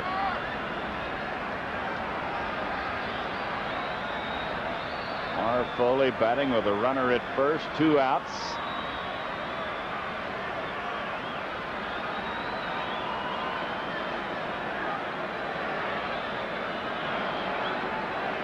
Ned Yost batted three times in the game before Foley got in in the eighth inning. Pitch is low and it's one and one. One ball, one strike. Ninth inning at Tiger Stadium. A runner at first with two outs, and the Tigers lead by four. Petry trying to get him out here in the ninth. This is a fair ball fielded by Bergman. A good play by Bergman. Ball was hit hard just inside the bag. Bergman picked it up, stepped on the bag, and Dan Petry has gone all the way as the Tigers win it five to one, and we'll be right back. As a relief pitcher, everybody thought I had it easy. See Pat here? He'd pitch his heart out for eight innings or so, and then And I'd Sparky come in, toss three or four pitches, and walk away with a win. But I had to Had to train just- train just like the rest of us. Yeah, well, I still like to keep in shape, and I drink. He drink drinks light, light beer from Miller. See, light's Less filling. and light Really really. tastes great. Will you just let me finish? Why? You never let me finish. Light beer from Miller. Everything you always wanted in a beer, and less. Let me finish that for you, oh. Sparky. When you shop for carpet, you want well-trained, knowledgeable salespeople. You expect it. You're entitled to it. You get it at New York Carpet World. With your carpet installation, you want professional perfection. You expect it. You're entitled to it, and you get it at New York Carpet World. With all that, you might not expect the lowest price, but that's our aim. It's our creed, our policy, our single goal. The lowest price on every carpet every single day. This Trevira carpet, $6.99. Unbeatable. See us for what you want in carpet. You can't miss at New York Carpet World. More sake, Buba-sama? The WRIF 1984 World Concert Tour continues. With me, Arthur P. Riff and Northwest Orient Airlines want to send you to Tokyo, Japan to see Detroit's own Romantics live in concert. From now until April 13th, when Puba-san gives you the word, be the third caller at 298-6360 for one of three week-long trips for two to Tokyo, including round-trip air furnished by Northwest Orient, hotel, concert tickets, and 88,000 yen spending money. Be listening to Riff for your chance to invade Japan with the Grand Puba-san. I like that. I'll show you why a professional likes Reynolds quality plastic wrap. For starters, it handles like a dream. Next, try this test at home. Reynolds plastic wrap and the leading brand. Reynolds holds its shape better, and that gives Reynolds its super tight cling. Try wrapping both halves of an onion. Set your timer for five minutes and see for yourself. For better cling, try Reynolds quality plastic wrap. The plastic wrap professionals use. Well, Darrell Evans provided the fireworks with an early three-run homer in the first inning. Dan Petry provided the pitching as he went all the way to beat the Rangers five to one here today. Five runs, five hits, no errors for the Tigers. Petry the winner. He's won two, lost none. One run, four hits, no errors for Texas, Dave Stewart takes the loss. He's 0-2 on the year. Well, that's it from Tiger Stadium. For Al Kaline, Eli Zaret, and Al Ackerman, this is George Kell. Hoping you'll be with us again on Sunday, April 15th at 1.30 when the Tigers face the Boston Red Sox. The senior producer of Tigers 84 is Chuck Wasley. Today's game was produced by Toby Tabasinski. Our coordinating director was George Christensen. Our production assistants by Michael Andro and Sue Ganzek. Once again, the final score today, the Tigers 5, Texas 1.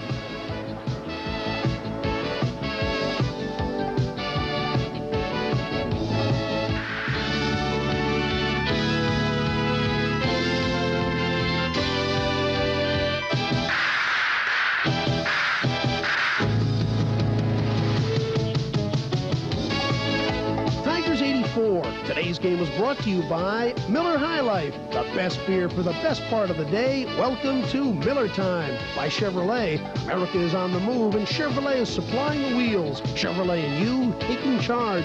By your local McDonald's restaurants, a proud sponsor of the 1984 Olympics. By First of America, with over 200 offices across Michigan, working together to be first. And by America's largest carpet retailer, New York Carpet World, the better carpet people.